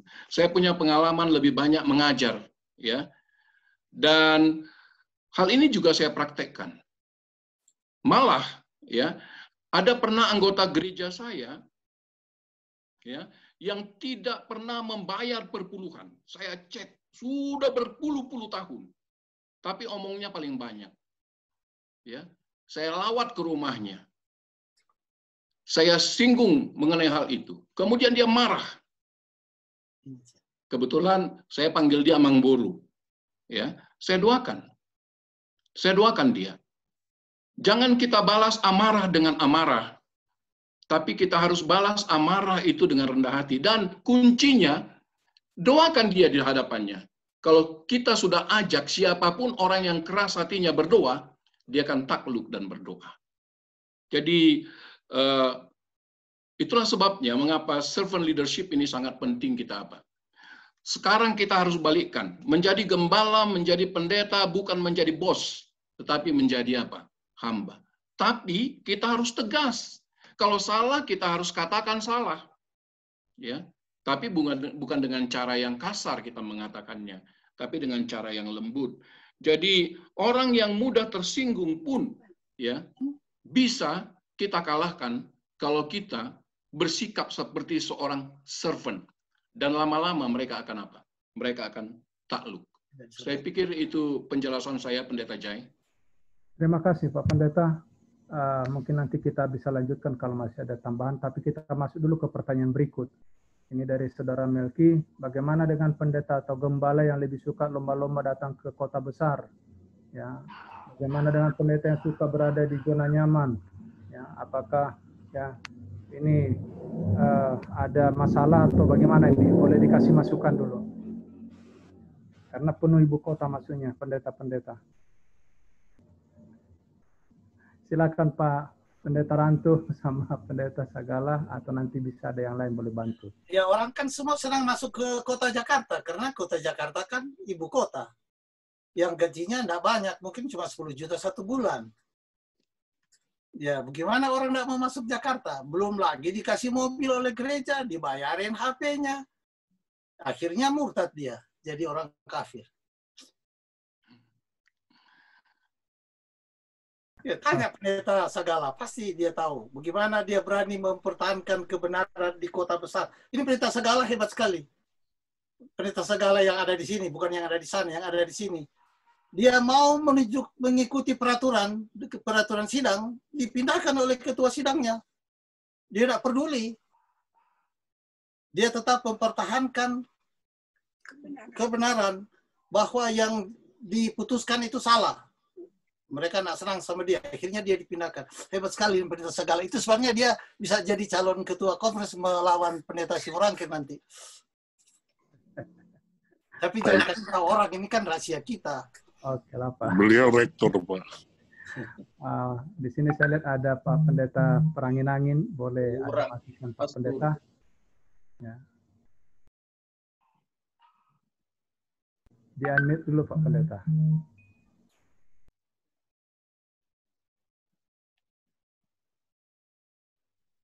Halo, selamat malam. Selamat malam. Di atas pelajaran yang bagus, mengingatkan kepada semua pendeta-pendeta. Ya. Saya pikir kenapa gembala-gembala yang berlomba-lomba ke kota besar? Ya. Sudah tentu secara dunia memang semua berlomba ke kota besar, tetapi sebenarnya kan kita selalu pelajari bahwa jadi pendeta itu adalah calling, panggilan ya. Pada zaman sekarang ini sebenarnya bukan lagi kayak tahun 70-an. Sekarang ini saya pikir di mana pun kita jadi pendeta, sebenarnya hampir sama karena kalau dulu dari Sumatera Utara ke Jakarta mungkin ambil waktu empat hari. Sekarang ini walaupun saya ditempatkan umpamanya di mana di Pangkalan Bun di Kalimantan sana, satu jam saya bisa tiba di sana. Dan saya bisa melayani dengan baik di sana. Kalau saya mau pergi ke Jakarta, gampang juga. Jadi sebenarnya kalau di negara-negara yang sudah bagus, stabil, Orang lebih senang di countryside jadi pendeta, di situ lebih tenang. Kalau umpamanya kita di Jakarta, coba saudara bayangkan gaji sebenarnya di mision ini hampir perbandingannya poin sama. Hanya perbedaannya mungkin uang jalan. Tetapi di kota, kalau istri tidak bekerja, uh, ini sangat banyak sekali tantangannya. Ya, asal bergerak duit, asal bergerak duit. Nah, jadi di dalam hal ini sebenarnya harus kita realistis juga. Jadi gembala di kota ada tantangannya. Tetapi di provinsi juga ada tantangannya. Tetapi sudah tentu di kota lebih rumit. Jadi kalau umpamanya di kota tidak menyadari suami istri, maka di kota kita bisa jadi frustrasi, bahkan jadi uh, apa namanya uh, ada yang dibilang itu uh, professional beggar. Jadi pendeta itu seperti tukang peminta-minta jadinya. Nah, ini berbahaya. Yang seharusnya dia menjadi berkat, dia selalu datang-datang melihat-lihat orang dan ya, di sana mungkin dapat berkat. Di sana itu namanya professional beggar. Itu nggak nggak boleh sehingga kita nggak dihargai sebagai pendeta. Padahal sebenarnya pendeta itu sumber berkat. Berkat itu apakah berkat uh, memberikan nasihat. Pokoknya ada pendeta masuk di rumahnya, berkat itu bagi anggota. Kan begitu. Jangan rupanya datang ada istri pendeta, ya ini TV Bapak ini bagus sekali. Akhirnya datang yang punya rumah bilang, wah ya ya ya ya ya. Ini yang begini-begini merendahkan kualiti daripada pendeta. Padahal pendeta itu adalah orang yang sangat respect. Walau jenderal dia, siapa pun dia, dia sangat respect sama pendetanya. Karena pendeta itu adalah saluran berkat bagi anggota. Kira-kira begitu. Ya, Tuhan berkati. Terima kasih Pak Pendeta. Ah, luar biasa. Pendeta Jai. Ya. Ada ada Pendeta JF Manulang ke pendetaan uni kita. Mungkin boleh kasih masukan. Dipersilakan. Oke. Makasih karena ini menyangkut pelayanan pendeta. Jadi kita mintalah kepada pimpinan kita, Pendeta Jeff Manulang. Silakan Pak, boleh sharing dengan kita.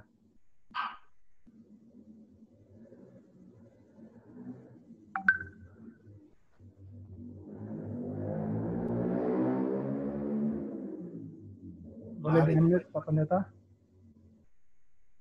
Pendeta Manulang?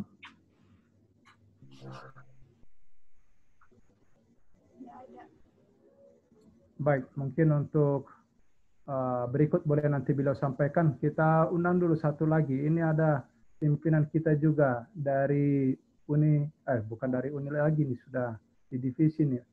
Bapak Pendeta Mambo. Moldi Mambo, boleh kasih masukan Pak? Karena, oke, okay. ya kalau begitu kita jalan dulu. Atau ada yang lain pimpinan kita? Bagaimana? Ini dari Uni Pendeta Saragi. Ini dari Serang menuju Kota Jakarta. Silakan.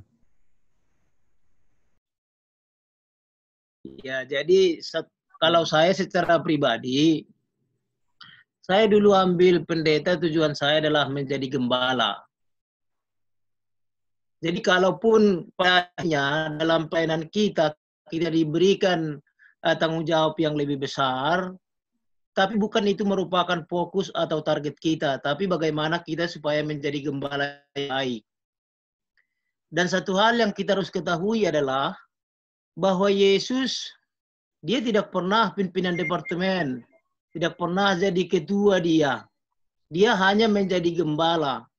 Jadi kalau kita mempunyai konsep yang jelas bahwa kita ada di sini supaya kita menjadi gembala, maka soal jabatan, soal posisi itu bukanlah merupakan target kita, tapi bagaimana supaya kita menjadi gembala yang baik. Terima kasih. Terima kasih Pak Pendeta. Jadi luar biasa ya. Oke, kita sedikit lanjut kepada ada pertanyaan di sini karena ini pertanyaan yang lebih luas dari Pendeta Edwin Sardiana. Batasan area pengorbanan sebagai the servant of God adalah ya, apakah hanya cukup meliputi waktu, harta, materi, perhatian atau nyawa sekalipun untuk jemaat atau masih ada yang lebih luas lagi selain itu? Boleh Pak Pendeta Rantun dan Pak Pendeta RW Sagala diterangkan dulu ini. Pengorbanan macam apa? Ya, pengorbanan yang bagaimana yang dibutuhkan oleh anggota. Jadi umpamanya kalau dia tidak ada beras, apa harus dia bolak-balik ke pendeta minta beras? Kalau anggotanya tidak tidak ada gaji, tidak ada uang mau bayar listrik, bayar rumah. Jadi mungkin pendeta eh, apa gereja itu harus mem, saya tidak tahu bagaimana sekarang dengan itu apa namanya eh, ya uh, gereja punya usaha untuk menolong orang-orang susah itu apa namanya? Dorcas. Dorcas.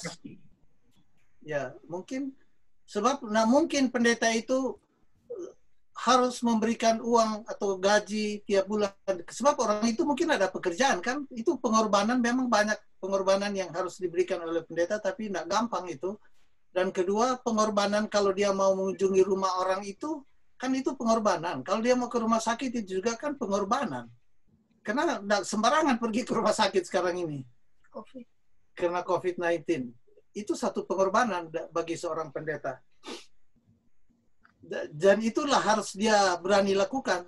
Seperti diceritakan tadi pendeta Segalan, dia ada pendeta yang dengan berani pergi melawat anggota-anggotanya. Itu luar biasa. Itu kira-kira pendapat saya. Terima kasih ada tambahan. Kita harus minta pendapat dari bos saya, Pendeta Perengnya ini. Pendeta Perengnya ini orang paling hebat yang saya pernah alami dalam hidup saya. Silakan Pak Pendeta Perengangin, ini permintaan khusus. Ya, jadi uh, um, bagaimana ya pengorbanan? Ya, pendeta kan dia koordinator di jemaat, dia kenal anggotanya. Ada yang punya duit, ada yang eh, hanya biasa-biasa saja, ada juga sekarang ini usaha cari makan pagi sore saja ya, eh, kan pendeta kan tahu ini semua keadaannya ini sebenarnya. Itulah pendeta. Jadi eh, supaya yang kaya ini juga diberkati Tuhan, dia harus kan memberi. Tadi sudah disinggung pendeta uh, rantung tadi Dorcas. Dorcas itu orang kaya dan orang miskin bertemu di sana. Sama-sama diberkati. Yang kaya ini pun diberkati. Kalau dia itu terus-menerus hanya menerima saja, nggak pernah memberi, ya celaka juga, kan laut mati namanya. Tetapi yang miskin juga jangan juga selalu mengeluh-mengeluh saja. Nah, di sini dia suka berdoa untuk bagaimana. Itu yang sebenarnya dalam situasi sekarang ini, saya anjurkan kita ada yang dinamakan social gospel. Jadi bukan hanya ber-KKR pakai Zoom saja terus-menerus. Kalau pakai Zoom itu orang-orang yang berduit saja yang kita bisa jangkau. Tidak salah itu. Tapi social gospel, pendeta tahu itu. Iya, sosialnya Injil sosial ya. Karena kalau orang susah, kita berikan bantuan, ini lama diingat ini. Dan kata kalau di Filipina dibilang utang nalop. Jadi utangnya itu kalau sudah dibantu orang susah itu, dia ingat itu sumur hidup. Nah, itu social gospel ini penting. Kita jangan hanya umpamanya berteori saja, sekarang ini berpraktik kita. Lakukan itu. Dan anggota-anggota kita ada orang kaya, ada orang pas-pasan. Nah, di situlah peranan pendeta. Sehingga dengan demikian, pada waktu susah ini anggota, problem ini anggota, ada hadir di sana pendeta. Dan dia akhirnya menghiro pendetanya. Dan itu membuat dia tetap setia. Nah, jangan umpamanya pada waktu ulang tahun, pada waktu memasuki rumah kita hadir selalu sana menggunting pita, tapi pada waktu dia susah, kita lupa atau kita ya sekarang covid sih nggak boleh saya kunjungi. Nanti ketahui ah, ini saya pikir ada jalannya selalu. Di dalam kesulitan ini pun ada selalu Tuhan bukakan jalan. Itu saja. Terima kasih. Terima kasih Pak Pendeta. Ya mudah-mudahan ini sudah cukup memberikan uh, masukan buat kita. Ini ada tapi saya pikir ini dari Ibu Saurin ya yang ada di chatting kita ini saya senang oleh karena banyak Zoom rohani yang ada selama COVID ini dan ini uh, di forward ke WA grup gereja, tapi saya melihat pengurus gereja tidak pernah ikut Zoom, tapi di lain pihak super aktif di Facebook yang justru banyak duniawinya. Jadi saya pikir itu hanya ya kita doakanlah ya. Yang berikut adalah dari John Renandi. Ya, bagaimana kalau diadakan fit and proper test terhadap servant leadership kepada calon pendeta juga kepada pendeta yang dicalonkan untuk jadi pemimpin di lembaga kita ini. Apakah ini dibutuhkan sebagai uh, persyaratan sebelum menggembala atau sebelum menjadi pemimpin. Silakan Bapak-bapak pimpinan kami. Ya. Kita dari Pak Moldemamu dulu. Ini karena pimpinan kita sudah cukup lama ini di, di organisasi, jadi boleh dulu Pak, sebelum nanti ya. ke narasumber. Sekarang ini fit and proper test sudah sudah mulai masuk di organisasi kita. Contohnya saja, pemilihan Direktur Rumah Sakit Advent Manado melalui fit and proper.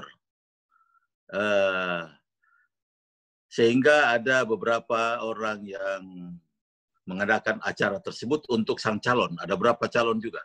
Usulan tadi saya kira perlu dipertimbangkan untuk ke depan agar pendeta-pendeta yang baru atau yang mau masuk di kependetaan, mungkin juga di sekolah boleh di, dibuatkan uh, dengan barangkali dengan pertanyaan-pertanyaan yang lebih sederhana. Agar memang nantinya pendeta tersebut apakah dalam pelayanannya seperti sebagai pendeta maupun pelayanannya dalam satu jenjang jabatan memang betul-betul dia full committed dalam pelayanannya dan ini sudah di di, di diulang-ulang sejak dia mulai masuk di kependetaan dan apalagi kalau dia mau menduduki satu jabatan sehingga tujuannya adalah pelayanan ya uh, tujuannya memberi berkat, bukan mencari berkat. Terima kasih. Terima kasih Pak Pendeta, ah, luar biasa. Jadi saya pikir ini masukan yang baik untuk itu karena ada hubungannya dengan lembaga kita. Saya minta narasumber kita, Pendeta Sagala, boleh uh, mungkin ditanggapi juga pertanyaan ini. Ya baik, uh, sebelumnya saya sebelum saya jawab mengenai fit dan proper test, saya akan jawab mengenai uh, pelayanan kita sebagai gereja untuk membantu orang yang berkekurangan. Ya, saya kira masing-masing jemaat perlu untuk membuat satu uh, dana cadangan kan pada awal-awal uh, tahun berjalan kan kita punya budget, budget ini untuk budget ini, budget ini, budget ini, dan siapkan budget untuk dana sosial. Saya waktu gembala buat itu di Duri, pada waktu saya di Duri. Kemudian yang membantu ini juga, pertanyaannya tadi apa? Sampai berapa jauh, sampai berapa jauh? Tidak ada batasan untuk berbuat baik. Siapa saja kita bantu, sampai dia bisa berdikari sendiri. Ya, kita berikan mungkin uh, materi-materi pelatihan-pelatihan agar dia dapat melakukan. Tapi ada juga bahayanya membantu. Saya alami itu, ya. Saya waktu di Sibolga sering sekali saya membantu orang yang uh, sosial, yang saya melawat ke rumahnya, yang rumahnya di atas laut, yang makannya pun susah, saya bantu, saya bantu. Tapi pada waktu itu karena saya terlalu serius membantu, sampai keenakan dia, dan akhirnya jadi murtad. Kita bantu jadi murtad karena dia malu untuk datang ke gereja karena bantuan-bantuan terus. Ada juga batasnya itu. Jadi kita harus perlu pelajari. Ya, bantulah orang yang paling utama yang perlu dia apa? Perlu dibantu. Dan itu bisa dilakukan oleh seorang pendeta. Bisa juga dilakukan secara jemaat. Saya ingat waktu saya masih menjadi gembala, saya hanya terima gaji 28 ribu satu bulan. Tahun tahun 88, bayangkan. Kenapa 28 ribu? Gaji saya habis dipotong-potong oleh karena saya ambil mastral pada waktu itu, bayar sendiri, biaya sendiri. Izin saja dikasih syukur pada waktu itu. Tapi karena saya merasa perlu saya mengimprove, ya 28 ribu. Untungnya saya dibantu oleh keluarga. Ada abang saya, ada ipar saya, dan untungnya juga istri saya bisa ngajar piano waktu itu ke Caltex. Sehingga dengan demikian, tidak perlu minta bantuan dari orang lain. Walaupun ya ah bendahara jemaatnya tahu mengenai keadaan keuangan saya. Dia dikatakan, pendeta, perlu pinjam uang gereja? Saya katakan, tidak om. Ya, tidak. Jadi, tidak ada batasan untuk berbuat baik kepada siapa saja. Tetapi yang paling utama adalah teman kita seiman. Ya, perlu gereja membuat dana sosial untuk itu. Nah, kemudian pertanyaan mengenai uh, apa tadi uh, penyaringan itu, saya pikir itu sudah ada di, di di organisasi gereja kita. Saya ingat kependetaan Uni dulu pernah tunjukkan kepada saya bagaimana itu uh, caranya untuk memanggil atau untuk memilih pekerja-pekerja, ya tentu juga yang namanya dunia ya, kita masih hidup di dunia, ada juga plus minusnya. Tapi itu saya kira itu penting, saudara orang itu sangat penting, bagus sekali masukannya. Ya, bagus sekali masukannya supaya ada apa sharing dan itu perlu. Ya, saya ingat dulu uh, waktu saya datang ke Unai dulu baru-baru saya masuk ke Unai ini tahun 87, ya itu juga untuk memilih pimpinan di Unai katanya. Dibuat ini, ini, ini, ini, ini, dibuat saja. Banyak apanya. Banyak itunya. Dan saya pikir uh, tidak salah membuat itu. Asal tidak ada sesuatu yang dibaliknya itu. Kita secara jujur uh, melakukannya. Saya pikir apa yang dikatakan Om Mambu tadi sudah jelas ya di Rumah Sakit Advent uh, Manado. Memang saya lihat itu dokter Supit sekarang di sana. Saya lihat ini. Jadi uh, Perlu, saya pikir perlu. Kita harus memilih yang terbaik untuk pelayanan Tuhan. Ya, gembala yang terbaik untuk pelayanan Tuhan. Singkirkan hal-hal yang lain, ya. Kita pilih yang apa? Yang terbaik. Walaupun walaupun ada saja orang yang mencari tempat yang lebih tinggi, ya. Tapi bagi saya bukan tempat yang lebih tinggi yang paling utama. Yang paling utama adalah bagaimana kita melayani. Puas enggak kita? Ya, saya rektor harusnya sampai tahun 2020, tapi saya mengundurkan diri di tengah jalan karena saya nggak merasa puas. Ya, saya lebih puas mengajar seperti ini. Jadi tergantung, tapi tergantung orangnya juga, ya prinsip orang kita, prinsip masing-masing. Tetapi sebagai hamba-hamba Tuhan, kita harus sadar pekerjaan kita yang paling utama adalah untuk melayani umat-umat Tuhan. Terima kasih. Eh, saya ingin mengusulkan masukan dari Bapak Karundeng. Ini Bapak Karundeng ini pimpinan Prisma Ministry. Lantas ada Bapak Huta Barat juga, ahli hukum. Ini orang-orang hebat yang bisa kasih masukan mereka kepada organisasi kita. Ada Bapak John Situmorang, pendeta saya. Silakan.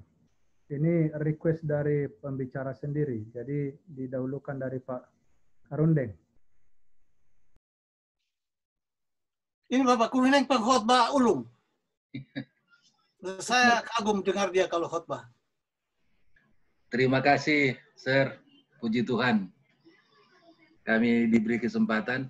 Yang saya tertarik tadi, eh, sampai batasan mana pendeta itu harus berkorban untuk membuktikan bahwa dia punya punya kandungan servant leadership.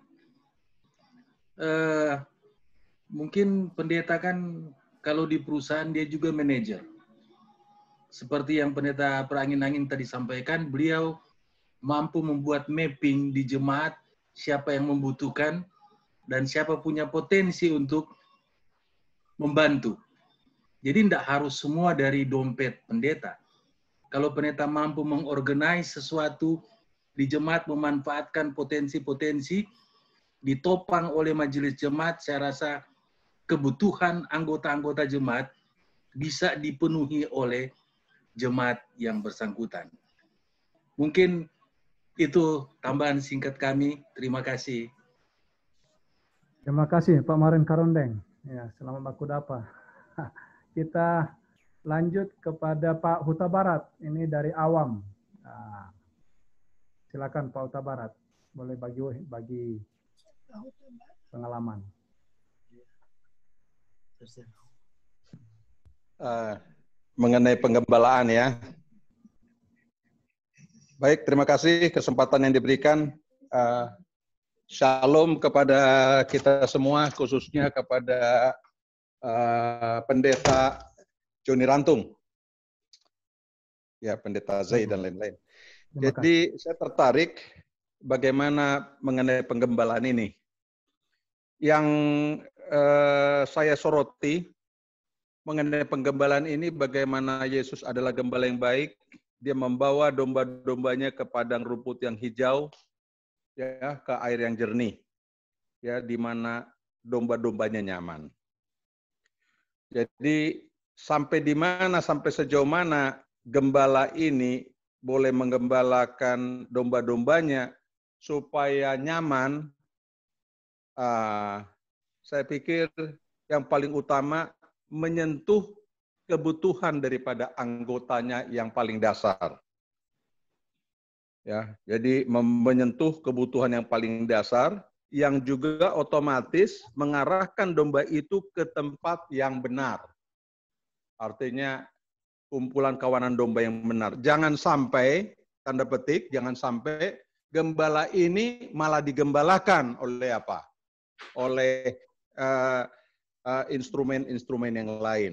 Itulah eh, faktor-faktor X yang boleh jadi merupakan eh, daya tarik daya tarik ya di luar roh yang benar. Itu yang saya sampaikan. Mudah-mudahan boleh dimengerti. Terima kasih. Terima kasih. Ya, eh, tadi ada permintaan khusus lagi dari beliau. Ini adalah Pendeta John Sitomorang. Ada yang mau di, ditambahkan pendeta? Bukan pendeta ya. Oh, Ini- bukan pendeta. Evangelis. Oh, rupanya eh, salah. Evangelis. silakan, silakan. Ya, beliau pendeta Rantung ini sangat luar biasa bagi kami dan salah satu yang kami kagumi waktu kami di Kalimantan adalah hamba Tuhan pendeta Rantung. Tiba-tiba kami ketemu di sana, beliau tahun 2004 kalau nggak salah memberikan ceramah rumah tangga. Saya sangat bangga kepada ceramah yang diberikan. Baik, Ah, mungkin yang saya ah, saya lihat di beberapa jemaat di mana kami ada, saya mengatakan pendeta itu luar biasa. Kenapa? Luar biasa oleh karena mereka mendedikasikan sesungguhnya pelayanan mereka di dalam setiap permasalahan apa anggota dan itu kami lihat langsung karena kami juga sering bersama dengan mereka untuk melaut rumah ke rumah. Apa yang saya perhatikan adalah ya setiap jemaat khususnya di Jakarta ya dan di kota-kota ya khususnya di dalam menangani COVID-19 ini, sudah benar cara pendeta. Pendeta tidak perlu mengerahkan dana yang dibutuhkan dari pendeta sendiri. Karena jemaat siap menanggung apa pun yang diusulkan oleh pendeta untuk kebutuhan anggota-anggota yang sudah dilakukan. Hanya pendeta yang aktif mengerti akan kebutuhan anggotanya akan memasukkan itu menjadi agenda karena di awal budget kita memang ada dana sosial, tapi nyatanya setelah bulan Maret, April, Mei, Jun, dana sosial itu tidak apa namanya tidak ada artinya karena banyak anggota yang membutuhkan. Kami di Jemaat Cawang yang menggembalakan adalah hamba Tuhan Pendeta Roni Umbo. Beliau memberikan masukan kalau boleh kita tambahkan budget sosial dan puji Tuhan ada beberapa anggota yang membutuhkan ya walaupun kami tidak bisa cover seluruhnya tetapi per orang kami berikan dana untuk melalui ini pendeta ini apa namanya me- menyampaikan ke jemaat lalu pendeta itu menyampaikan per orang 700 dengan kriteria makan satu hari pla pla pla dan kami bisa bantu dan budget kami untuk itu kami berikan kurang lebih lima- eh, 35 juta artinya dengan eh, pendeta-pendeta yang profesional seperti ini yang kita harapkan, pendeta yang melayani memang. Jadi kami berterima kasih ke pendeta Roni Umbuk yang memberikan apa namanya ya sangat sederhana pelayanan beliau, tapi menyentuh kepada dasar hati. Kebutuhan-kebutuhan anggota diperhatikan. Dan puji Tuhan, sekarang muncul ada 12 orang yang non-advent akhirnya memiliki KPA di gereja kami mulai Kamis yang lalu sudah mulai berjalan karena pelayanan COVID-19. Bukan hanya anggota seperti yang di- di- diberitahukan uh, hamba Tuhan tadi, yaitu tetangga di jemaat kami itu ada yang gereja, yang yang bukan Advent, gereja GBI, lalu mereka membuka hati dan ada 12 orang yang kami bantu setiap bulan 700 ribu per orang, bukan anggota. Dan dengan kota, uh, dengan cara ini, eh, bukan 700 ribu, kalau salah, uh, berupa paket paket beras, paket bukan 700 ribu, paket beras dengan paket yang lainnya, sembako lah. Dan mereka sekarang ini ikut uh, ikut KKR yang diadakan baru-baru ini terjadi. Jadi memang pendeta di Jakarta saya katakan tidak perlu ya walaupun ada yang pendeta yang mengorbankan gajinya, tidak perlu mengorbankan gajinya asal profesional dengan rendah hati menyampaikan kebutuhan anggotanya kepada anggota jemaat kepada majelis dan majelis tentunya ya saya pikir tidak tidak akan berdiam diri lah karena ini adalah kembali tidak ada orang yang sampai ke surga tanpa memberikan bantuan kepada sesama. Tidak ada orang sampai ke surga tanpa menyelamatkan jiwa orang lain. Ini mungkin perlu kita simak baik-baik. Terima kasih. Terima kasih Pak uh, John Simorang. Uh, Saudara-saudara yang kasih dalam Tuhan, uh, memang kita patut bersyukur ya kita punya jemaat, kita punya gereja sekarang ini masih tetap diberkati oleh Tuhan dan saya pikir semangat pelayanan juga luar biasa uh, karena ada banyak cara bisa dilakukan selama pandemik ini. Saudara yang kasih dalam Tuhan tidak bisa dipungkiri, ada yang harus dikunjungi dan itu kita lakukan. Ada yang harus kita bantu dengan materi, itu harus kita lakukan. Semua bisa kita lakukan, itu kami rasakan sekarang ini. Ya, jadi doalah yang kita butuhkan sekarang. Namun ada pertanyaan yang terakhir di sini saya lihat uh, dari pendeta Geri Takaria. Selamat malam yang dari Ayas. Dikatakan di sini dalam situasi pandemi COVID-19 banyak pendeta ingin melaksanakan tugas pelayanan menunggu petunjuk dan aturan main dari pimpinan organisasi yang lebih tinggi. Sementara anggota jemaat menuntut untuk melaksanakan tindak yang cepat tanggap. Bagaimana sikap pendeta dalam menghadapi situasi ini?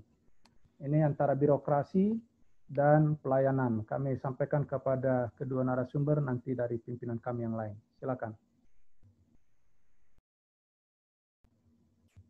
Pak Pendeta Rantung, boleh? Saya tidak bisa jawab itu, mesti pimpinan. Karena saya kan Oke. orang kadaluarsa, bagaimana? Oh, sudah kadaluarsa.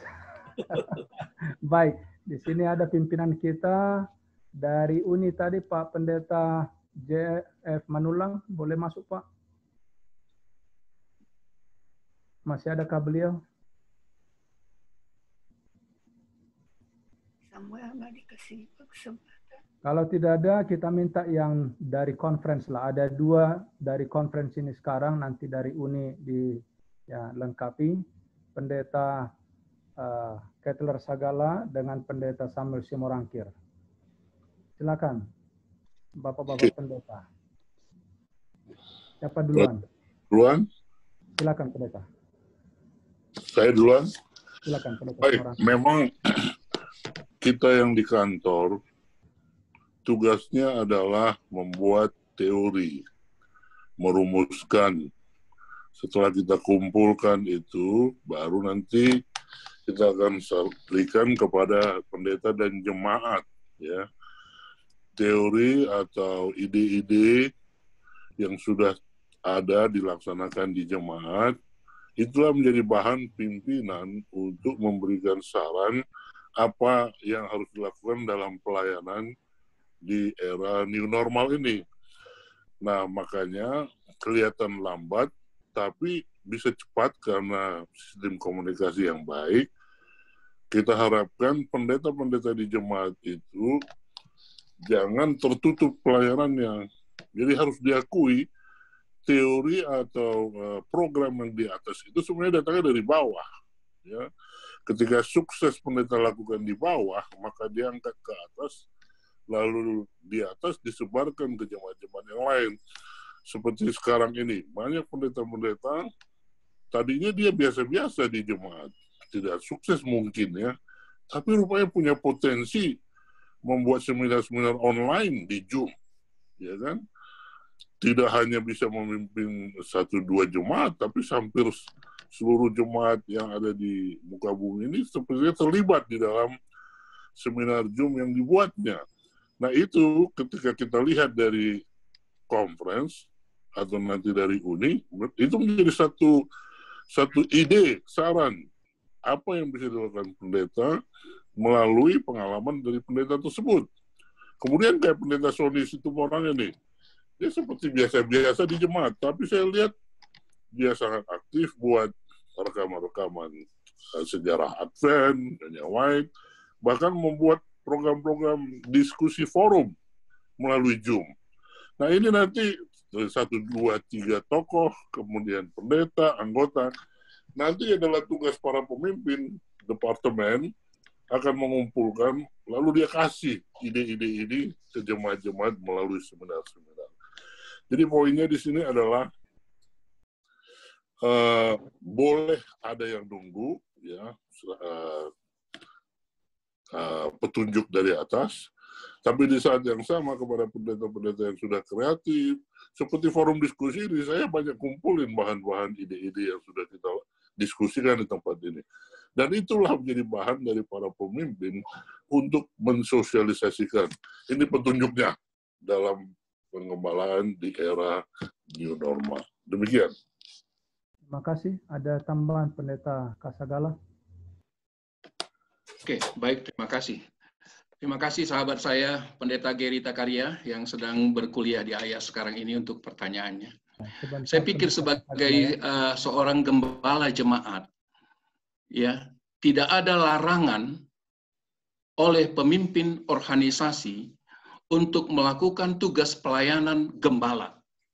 Ya, sekarang ini musim COVID, gembala enggak enggak enggak boleh uh, berhenti untuk melayani, tapi harus ikuti aturan atau tata, tata caranya. Saya ambil contoh, kalau dulu kita melawat, ya enggak pakai me, apa masker, enggak pakai ini, ya sekarang kita gunakan itu, ikuti aturan-aturan yang berlaku. Tetapi pelayanan pendeta tidak boleh stop. Ya. Tidak boleh stop. Untuk gembala jemaatnya. Kalau dia misalnya, kalau pendeta itu misalnya uh, anggota gerejanya yang mau dilawatnya, saya ambil contoh perlawatan saja deh yang simple. Tidak menerima dia masuk ke rumah, bisa saja dia berdoa di depan rumahnya itu. Saya sudah ambil contoh tadi waktu di dalam seminar saya, seorang pendeta Jawa Barat ini, ya, dia melawat. Ini yang dia lawat rumah kakak saya, makanya saya tahu ini di Jalan Jurang, ya, rumah kakak saya Makanoneng waktu itu. Saya lihat masuk ke rumah itu ada tulisan, Selamat siang Bapak Ibu Makanoneng. Tadi saya melawat di sini, ya, tapi Bapak Ibu tidak ada di rumah. Ya, jadi saya pikir tugas-tugas penggembalaan yang biasa tidak boleh stop oleh COVID-19 ini. Tapi kalau ada hal-hal yang perlu petunjuk, kita tunggu petunjuk dari apa? Dari pimpinan. Eh, bagi eh, bapak-bapak yang ada di pimpinan organisasi, mungkin boleh juga berpikir dan untuk memberikan masukan-masukan bagaimana jenis pelayanan yang perlu kita lakukan ya kepada jemaat kita sehingga jemaat kita merasa tidak terapa, merasa tidak terlayani oleh karena masalah COVID ini. Jadi eh, masukan bagi saya untuk eh, sahabat saya Pendeta Geri Takaria ya kita terus melakukan eh, pelayanan. Sikap kita kita adalah gembala. Kita harus melayani selagi ada waktu. Kita buat yang terbaiknya. Kalau perlu protokol, kita minta protokolnya sehingga dengan demikian pelayanan kepada eh, anggota-anggota uh, gereja kita tetap uh, berjalan seperti biasa. Terima kasih. Terima kasih Pak Pendeta. Sekarang kita ke Pendeta Kasagala karena beliau juga sekarang ini membidangi uh, sekolah sahabat dan penginjilan di Konferensi DKI Jakarta. Mungkin ada yang bisa diberikan masukan. Silakan Pak Pendeta. Terima kasih uh, atas kesempatan diberikan bagi saya untuk memberikan pendapat menanggapi pertanyaan yang disampaikan oleh hamba Tuhan Pendeta Giri Takaria. Pimpinan di kantor adalah pusat koordinasi untuk monitoring hal-hal yang perlu di dalam gereja-gereja di seluruh wilayah yang dipimpin oleh pimpinan. Sangat bersyukur, berterima kasih suatu kesaksian yang diberikan oleh hamba Tuhan layak saya, saudara kita John Stumorang. Yang lebih tahu persoalan di gereja itu sebenarnya adalah gembala jemaat. Bukan pimpinan. Pimpinan hanya dapat menerima informasi yang diberikan gembala jemaat manakala ada hal-hal yang perlu untuk dilakukan, meminta advice, arahan. Memang perlu juga kami pimpinan turun di lapangan langsung Jujur saja selama COVID ini saya tidak pernah berhenti. Sejak bulan Maret terus sampai sekarang. Rasanya nggak bisa nyenyak tidur di rumah. Bagaimana di jemaat? Kita datangi gembala jemaat. Apa masalah di dalam jemaat? Kalau ada masalah yang sangat berat, jemaat itu tidak mampu melakukannya, pasti para pimpinan akan memikirkan untuk mencari memikirkan jalan keluar untuk mengatasi masalah yang didapatkan. Tetapi juga kita tidak lupa untuk memberikan arahan kepada jemaat. Sesungguhnya banyak potensi-potensi di gereja juga yang dapat mengatasi masalah yang ada di gereja masing-masing. Karena keterlibatan semua anggota jemaat itu sangat perlu. Sebagai pimpinan tidak boleh membiarkan anggota itu berdiam diri dan tidak peduli dengan anggota yang lain dalam gerejanya masing-masing. Jadi bagaimana mengkoordinasikan seluruhnya secara menyeluruh itu sangat perlu. Sangat perlu. Tindakan langsung itu di jemaat itu perlu. Siapa yang melakukan? Tentu kalau kami pimpinan turun langsung di jemaat melakukan sesuatu bertindak. Ada juga etika yang terlewati karena ada rekan kita gembala jemaat di bawah di jemaat yang harus kita ajak, kita dampingi mereka. Memang itu yang kita lakukan, pendampingan, mendampingi gembala-gembala jemaat untuk melakukan tugas pelayanan itu dalam jemaat. Supaya pergerakan itu seirama dengan apa yang diharapkan oleh organisasi dan juga Tuhan. Itu saya pikir untuk menanggapi itu. Terima kasih Pak Pendeta. Jadi oleh karena terima kasih buat kita semua oleh karena waktu kita sudah uh, tiba 9.30 bagi yang jauh juga ini sudah jam setengah 11. Jadi uh, buat para narasumber kami boleh memberikan closing statement sebelum kita mengakhirinya. Siapa duluan? Pak Pendeta Sagala, silakan Pak Pendeta. Oh, saya dulu bukan dosen saya. Baiklah. Silakan. Terima kasih uh, Pendeta Emerson Jai, Pendeta Sonis Tumorang, dan semua Bapak, Ibu yang mengikuti seminar ini. Jadi seminar ini adalah merupakan uh, satu masukan bagi kita masing-masing. Saya sendiri yang berbicara pada malam hari ini unperfect, belum belum belum perfect, mungkin jauh dari perfect, tapi masing-masing kita sama-sama belajar uh, menuju hal yang uh, lebih baik. Sekali lagi terima kasih atas kesempatan diberikan kepada saya. Marilah kita ya berusaha untuk mengadakan pelayanan kepada jemaat kita, khususnya kita gembala dan tua-tua jemaat ya. Jangan COVID-19 ini kita jadikan alasan untuk tidak melayani anggota gereja kita. Tuhan memberkati. Terima kasih. Yang berikut dari yang paling senior. Ya, kita uh, memohon kiranya pendeta-pendeta kita bersedia melayani dengan rendah hati, mengetahui akan kebutuhan anggota kita, jangan abaikan mereka. Kalau dengar kesaksian dari Cawang luar biasa, mereka bisa melakukan uh, pelayanan di gereja mereka sehingga bisa membuat acara kelompok kecil ya, kelompok sel atau belajar Alkitab dan bukan Advent ya. Luar biasa itu karena pelayanan dari gereja. Jadi jangan cuma melayani anggota gereja kita, kita harus melayani anggota gereja kita yang susah tapi juga tetangga-tetangga Kristen walaupun bukan Advent, kita juga harus layani mereka. Itulah COVID-19 ini ya. Kiranya Tuhan menolong memberkati masing-masing kita, pendeta-pendeta kita, berani melakukan tugas mereka dengan pertolongan Tuhan. Amin. Terima kasih Pak Pendeta. Baik, sebelum kita akan tutup ini, kita minta dari host kita, Pendeta ya, Sonis Tumorang, untuk memberikan pengumuman. Baik, uh, baik terima kasih kepada semua yang telah hadir pada malam ini. Namun atas nama panitia dari alumni Ayas Chapter Jakarta, kami mengucapkan terima kasih banyak kepada Pendeta Dr. RW Sagala dan juga Pendeta Dr. Joni Rantung yang telah meluangkan waktunya untuk memberikan pencerahan, enlightenment, apa? Atau sesuatu yang berguna bagi para gembala, para tua-tua jemaat dan juga seluruh anggota jemaat. Kami percaya materi yang telah dipaparkan dan telah disuguhkan bagi kami sangat berguna bagi pelayanan gembala di mana pun kami sekarang melayani. Dan juga terima kasih kepada Pendeta Donald Muntu yang boleh men-share kesaksiannya pada malam ini. Kalau ada kata atau kalimat dari ucapan terima kasih, maka hal itulah yang kami akan alamatkan kepada kedua pembicara.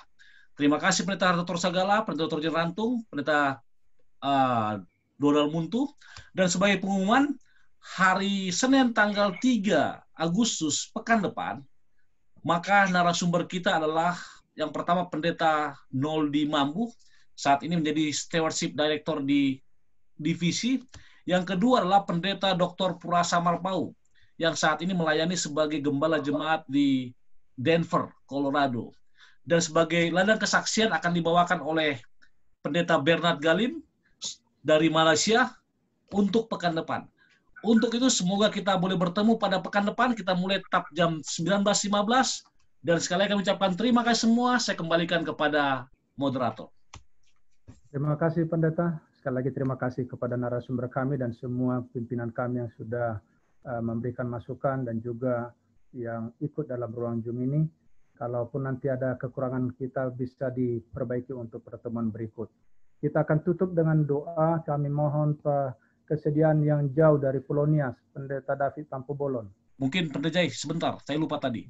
Oke. Okay. Ah, hanya sekedar mengingatkan bagi saudara-saudara yang belum mendapatkan materi delapan pembicara, saya tadi telah sebutkan tolong tulis di kolom chat nomor handphonenya agar boleh kami share atau nanti kami masukkan ke grup WA di mana semua materi ada di sana sehingga kita akan dengan mudah mendownloadnya. Jadi sekali lagi bagi saudara yang belum menampilkan nomor di kolom chat dipersilahkan. Terima kasih. Terima kasih banyak pendeta. Silakan pendeta Tampu Bolon uh, pimpin kita dalam dua tutup. Di-unmute dulu pendeta.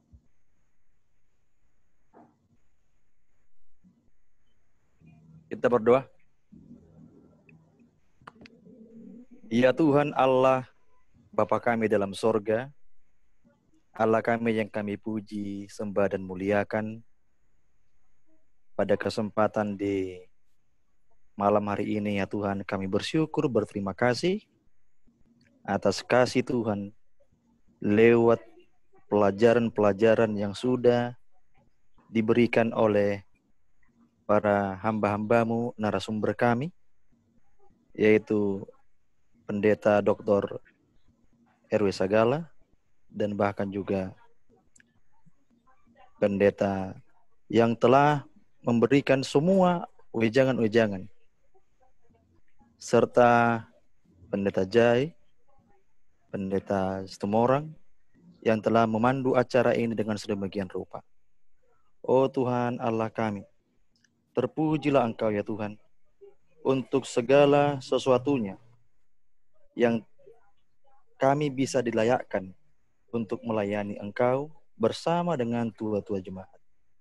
Kami berharap untuk kedua hamba Tuhan, Pendeta RW Sagala, begitu juga Pendeta Rantung yang telah memberikan pelajaran pada saat ini, Tuhanlah yang menambahkan hikmat kepada hamba-hamba Tuhan ini, menambahkan kesehatan, dan tentunya untuk waktu-waktu yang akan datang dapat memberikan pelajaran-pelajaran materi yang tentunya dapat menolong kami, memotivasi kami, teristimewa di situasi saat ini, sehingga kami dapat dipersiapkan untuk melayani umat-umatmu, melayani anak-anak Tuhan, dan tentunya itu dapat menjadi kemuliaan kebesaran bagi nama Tuhan. Kami tahu ya Tuhan bahwa dalam pelayanan kami ini banyak hal yang kurang sempurna kami lakukan. Kami yakin dan percaya Tuhan akan layakkan kami dengan darahmu. Oleh sebab itu engkau akan ampuni kami sehingga kami dapat menerima kasih karunia yang daripadamu ya Tuhan. Kami yakin dan percaya untuk pertemuan kami selanjutnya Tuhanlah yang campur tangan sehingga semuanya itu dapat berjalan dengan baik untuk kami semuanya yang akan senantiasa selalu dipersiapkan dan merindukan akan materi-materi yang akan menolong kami dalam pelayanan ini. Terpujilah Engkau ya Tuhan dari selama-lamanya sampai selama-lamanya, karena doa dan permohonan yang kami sampaikan hanya dalam nama anak Yesus Kristus Tuhan dan Juru Selamat kami. Amin. Amin. Terima kasih pendeta. Terima kasih buat Bapak Ibu semua, pimpinan kami yang sudah hadir, teman-teman pendeta dan juga tua-tua jemaat. Semoga pertemuan kita malam ini menjadi berkat luar biasa dan minggu depan kita boleh bertemu lagi. Ya, ini forum adalah untuk memajukan pekerjaan Tuhan, tidak ada yang lain. Ya, itu tujuan kita. Tuhan memberkati kita semua. Shalom. Selamat malam. Berikan Selamat waktu pendeta untuk bertegur sapa sampai bicara 3 sampai 5 Ya. menit. Silakan kita boleh di unmute semuanya supaya kita boleh tegur sapa. Terima kasih.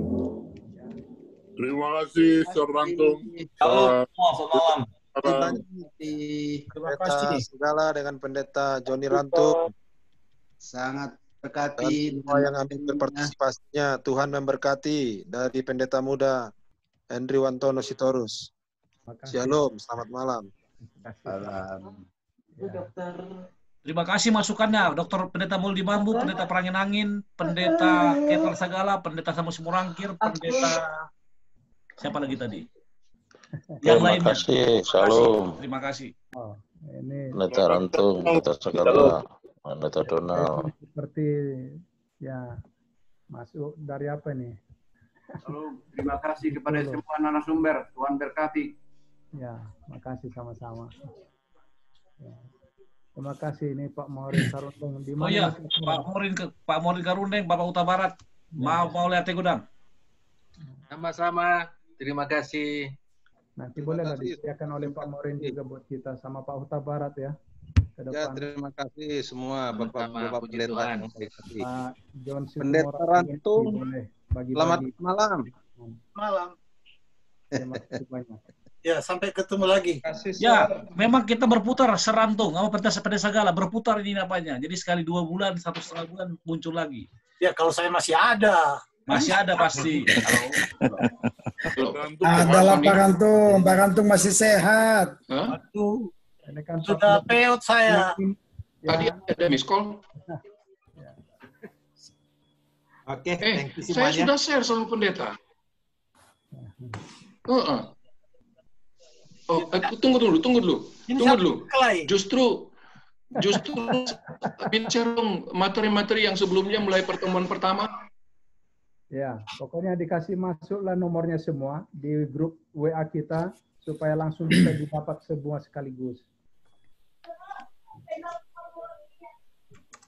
Oke. Selamat malam, Abang John Situmorang. Oke, Malam. terima kasih. Terima Oke, selamat malam dari Malaysia. Ya, Good terima night, kasih everybody. Galim. Ya. Selamat malam, Pastor Bernard Galim. Eh, malam. ya. Jangan lupa pekan depan, pekan depan, Pastor Bernard ada kesaksian. Siap, siap, siap. Terima kasih. Tuhan berkati semuanya. Selamat malam. Tapi Pak. pendeta, pendeta Rantung masih mu, makin muda Selamat malam. Rantung. Serantung makin muda serantung. Selamat malam, Pendeta Putra. Kita rantung tabung gasnya masih ada. Saya, saya mau saya sudah mau jual karena gaji kan tidak terima-terima lagi ini. mau dijual. Orang divisi Bapak, dolar terima. Omoldi, Omoldi tanggal 24. Nanti di WA lah pendeta. Baras Pendeta Sagala. Unmute Pak, Pak Mo- Moldi.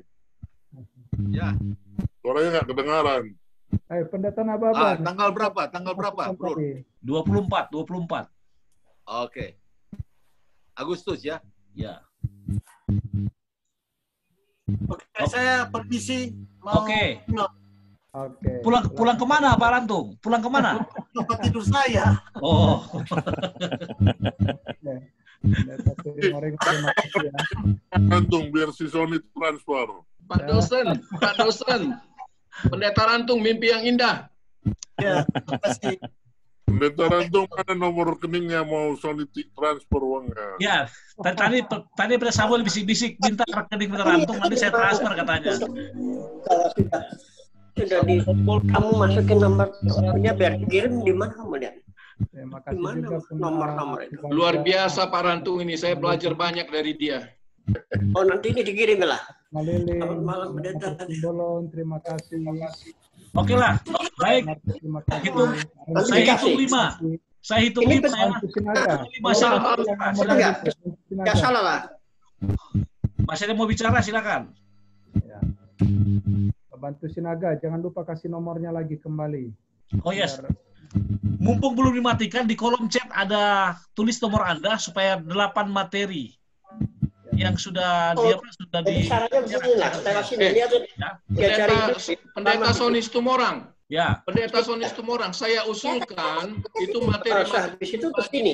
grup aja lah. Tadi aku salah. Oke di grup, oke di grup, oke di grup ya. Jadi Saya kan akan ada sudah, kan sudah ada nomor telepon mereka, mereka. Oke oke. Masukkan aja di grup. Jadi sharingnya di grup supaya bapak juga nggak capek. Oke. Uang ya lah. Ya, Ya. Bukan Jadi- ke seseorang ya. Ya, nomor handphone, nomor handphone bikin Nomor handphone aja kasih tahu, nanti dimasukkan di grup, baru bahannya ada di grup. Oke, terima kasih. Tapi Baik, saya.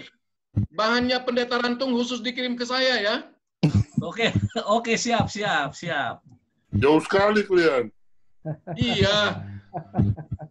Susah ketemunya sama profesor itu. Oh gitu. Pakai gosen aja gosen. Memang daya, daya tarik dua pembicara luar biasa. Tadi ada ada sempat empat orang nunggu di apa waiting room. Oh gitu ya. Ya, Hampir hampir 80 ya. tadi tadi 80 lebih, terakhir 80 sembilan tadi saya saya saya cap- capture 97 terakhir. Wow. Jadi Mereka itu, saya capture mereka itu ri- rindu dengar suara Pak Rantung dan materinya. luar biasa Mereka ini. selalu ada tawa kalau dia bawa seminar. Mak Iya. Nah, Mereka juga mereka juga rindu pendeta Sudah Dr. Kala yang lebih baik jadi dosen daripada rektor di Sianta. Ah, kamu bisa aja Sam. Kata Kamu bisa aja. Itu ajaran saya terima dari Pak Rantung waktu di kelas. Mana Pendeta Putra? Oke lah, hitungan kelima ya. Lima, Ya, Laham ya. empat, Terima kasih. Dua, satu. malam, Malam, malam semua. Bye. Malam.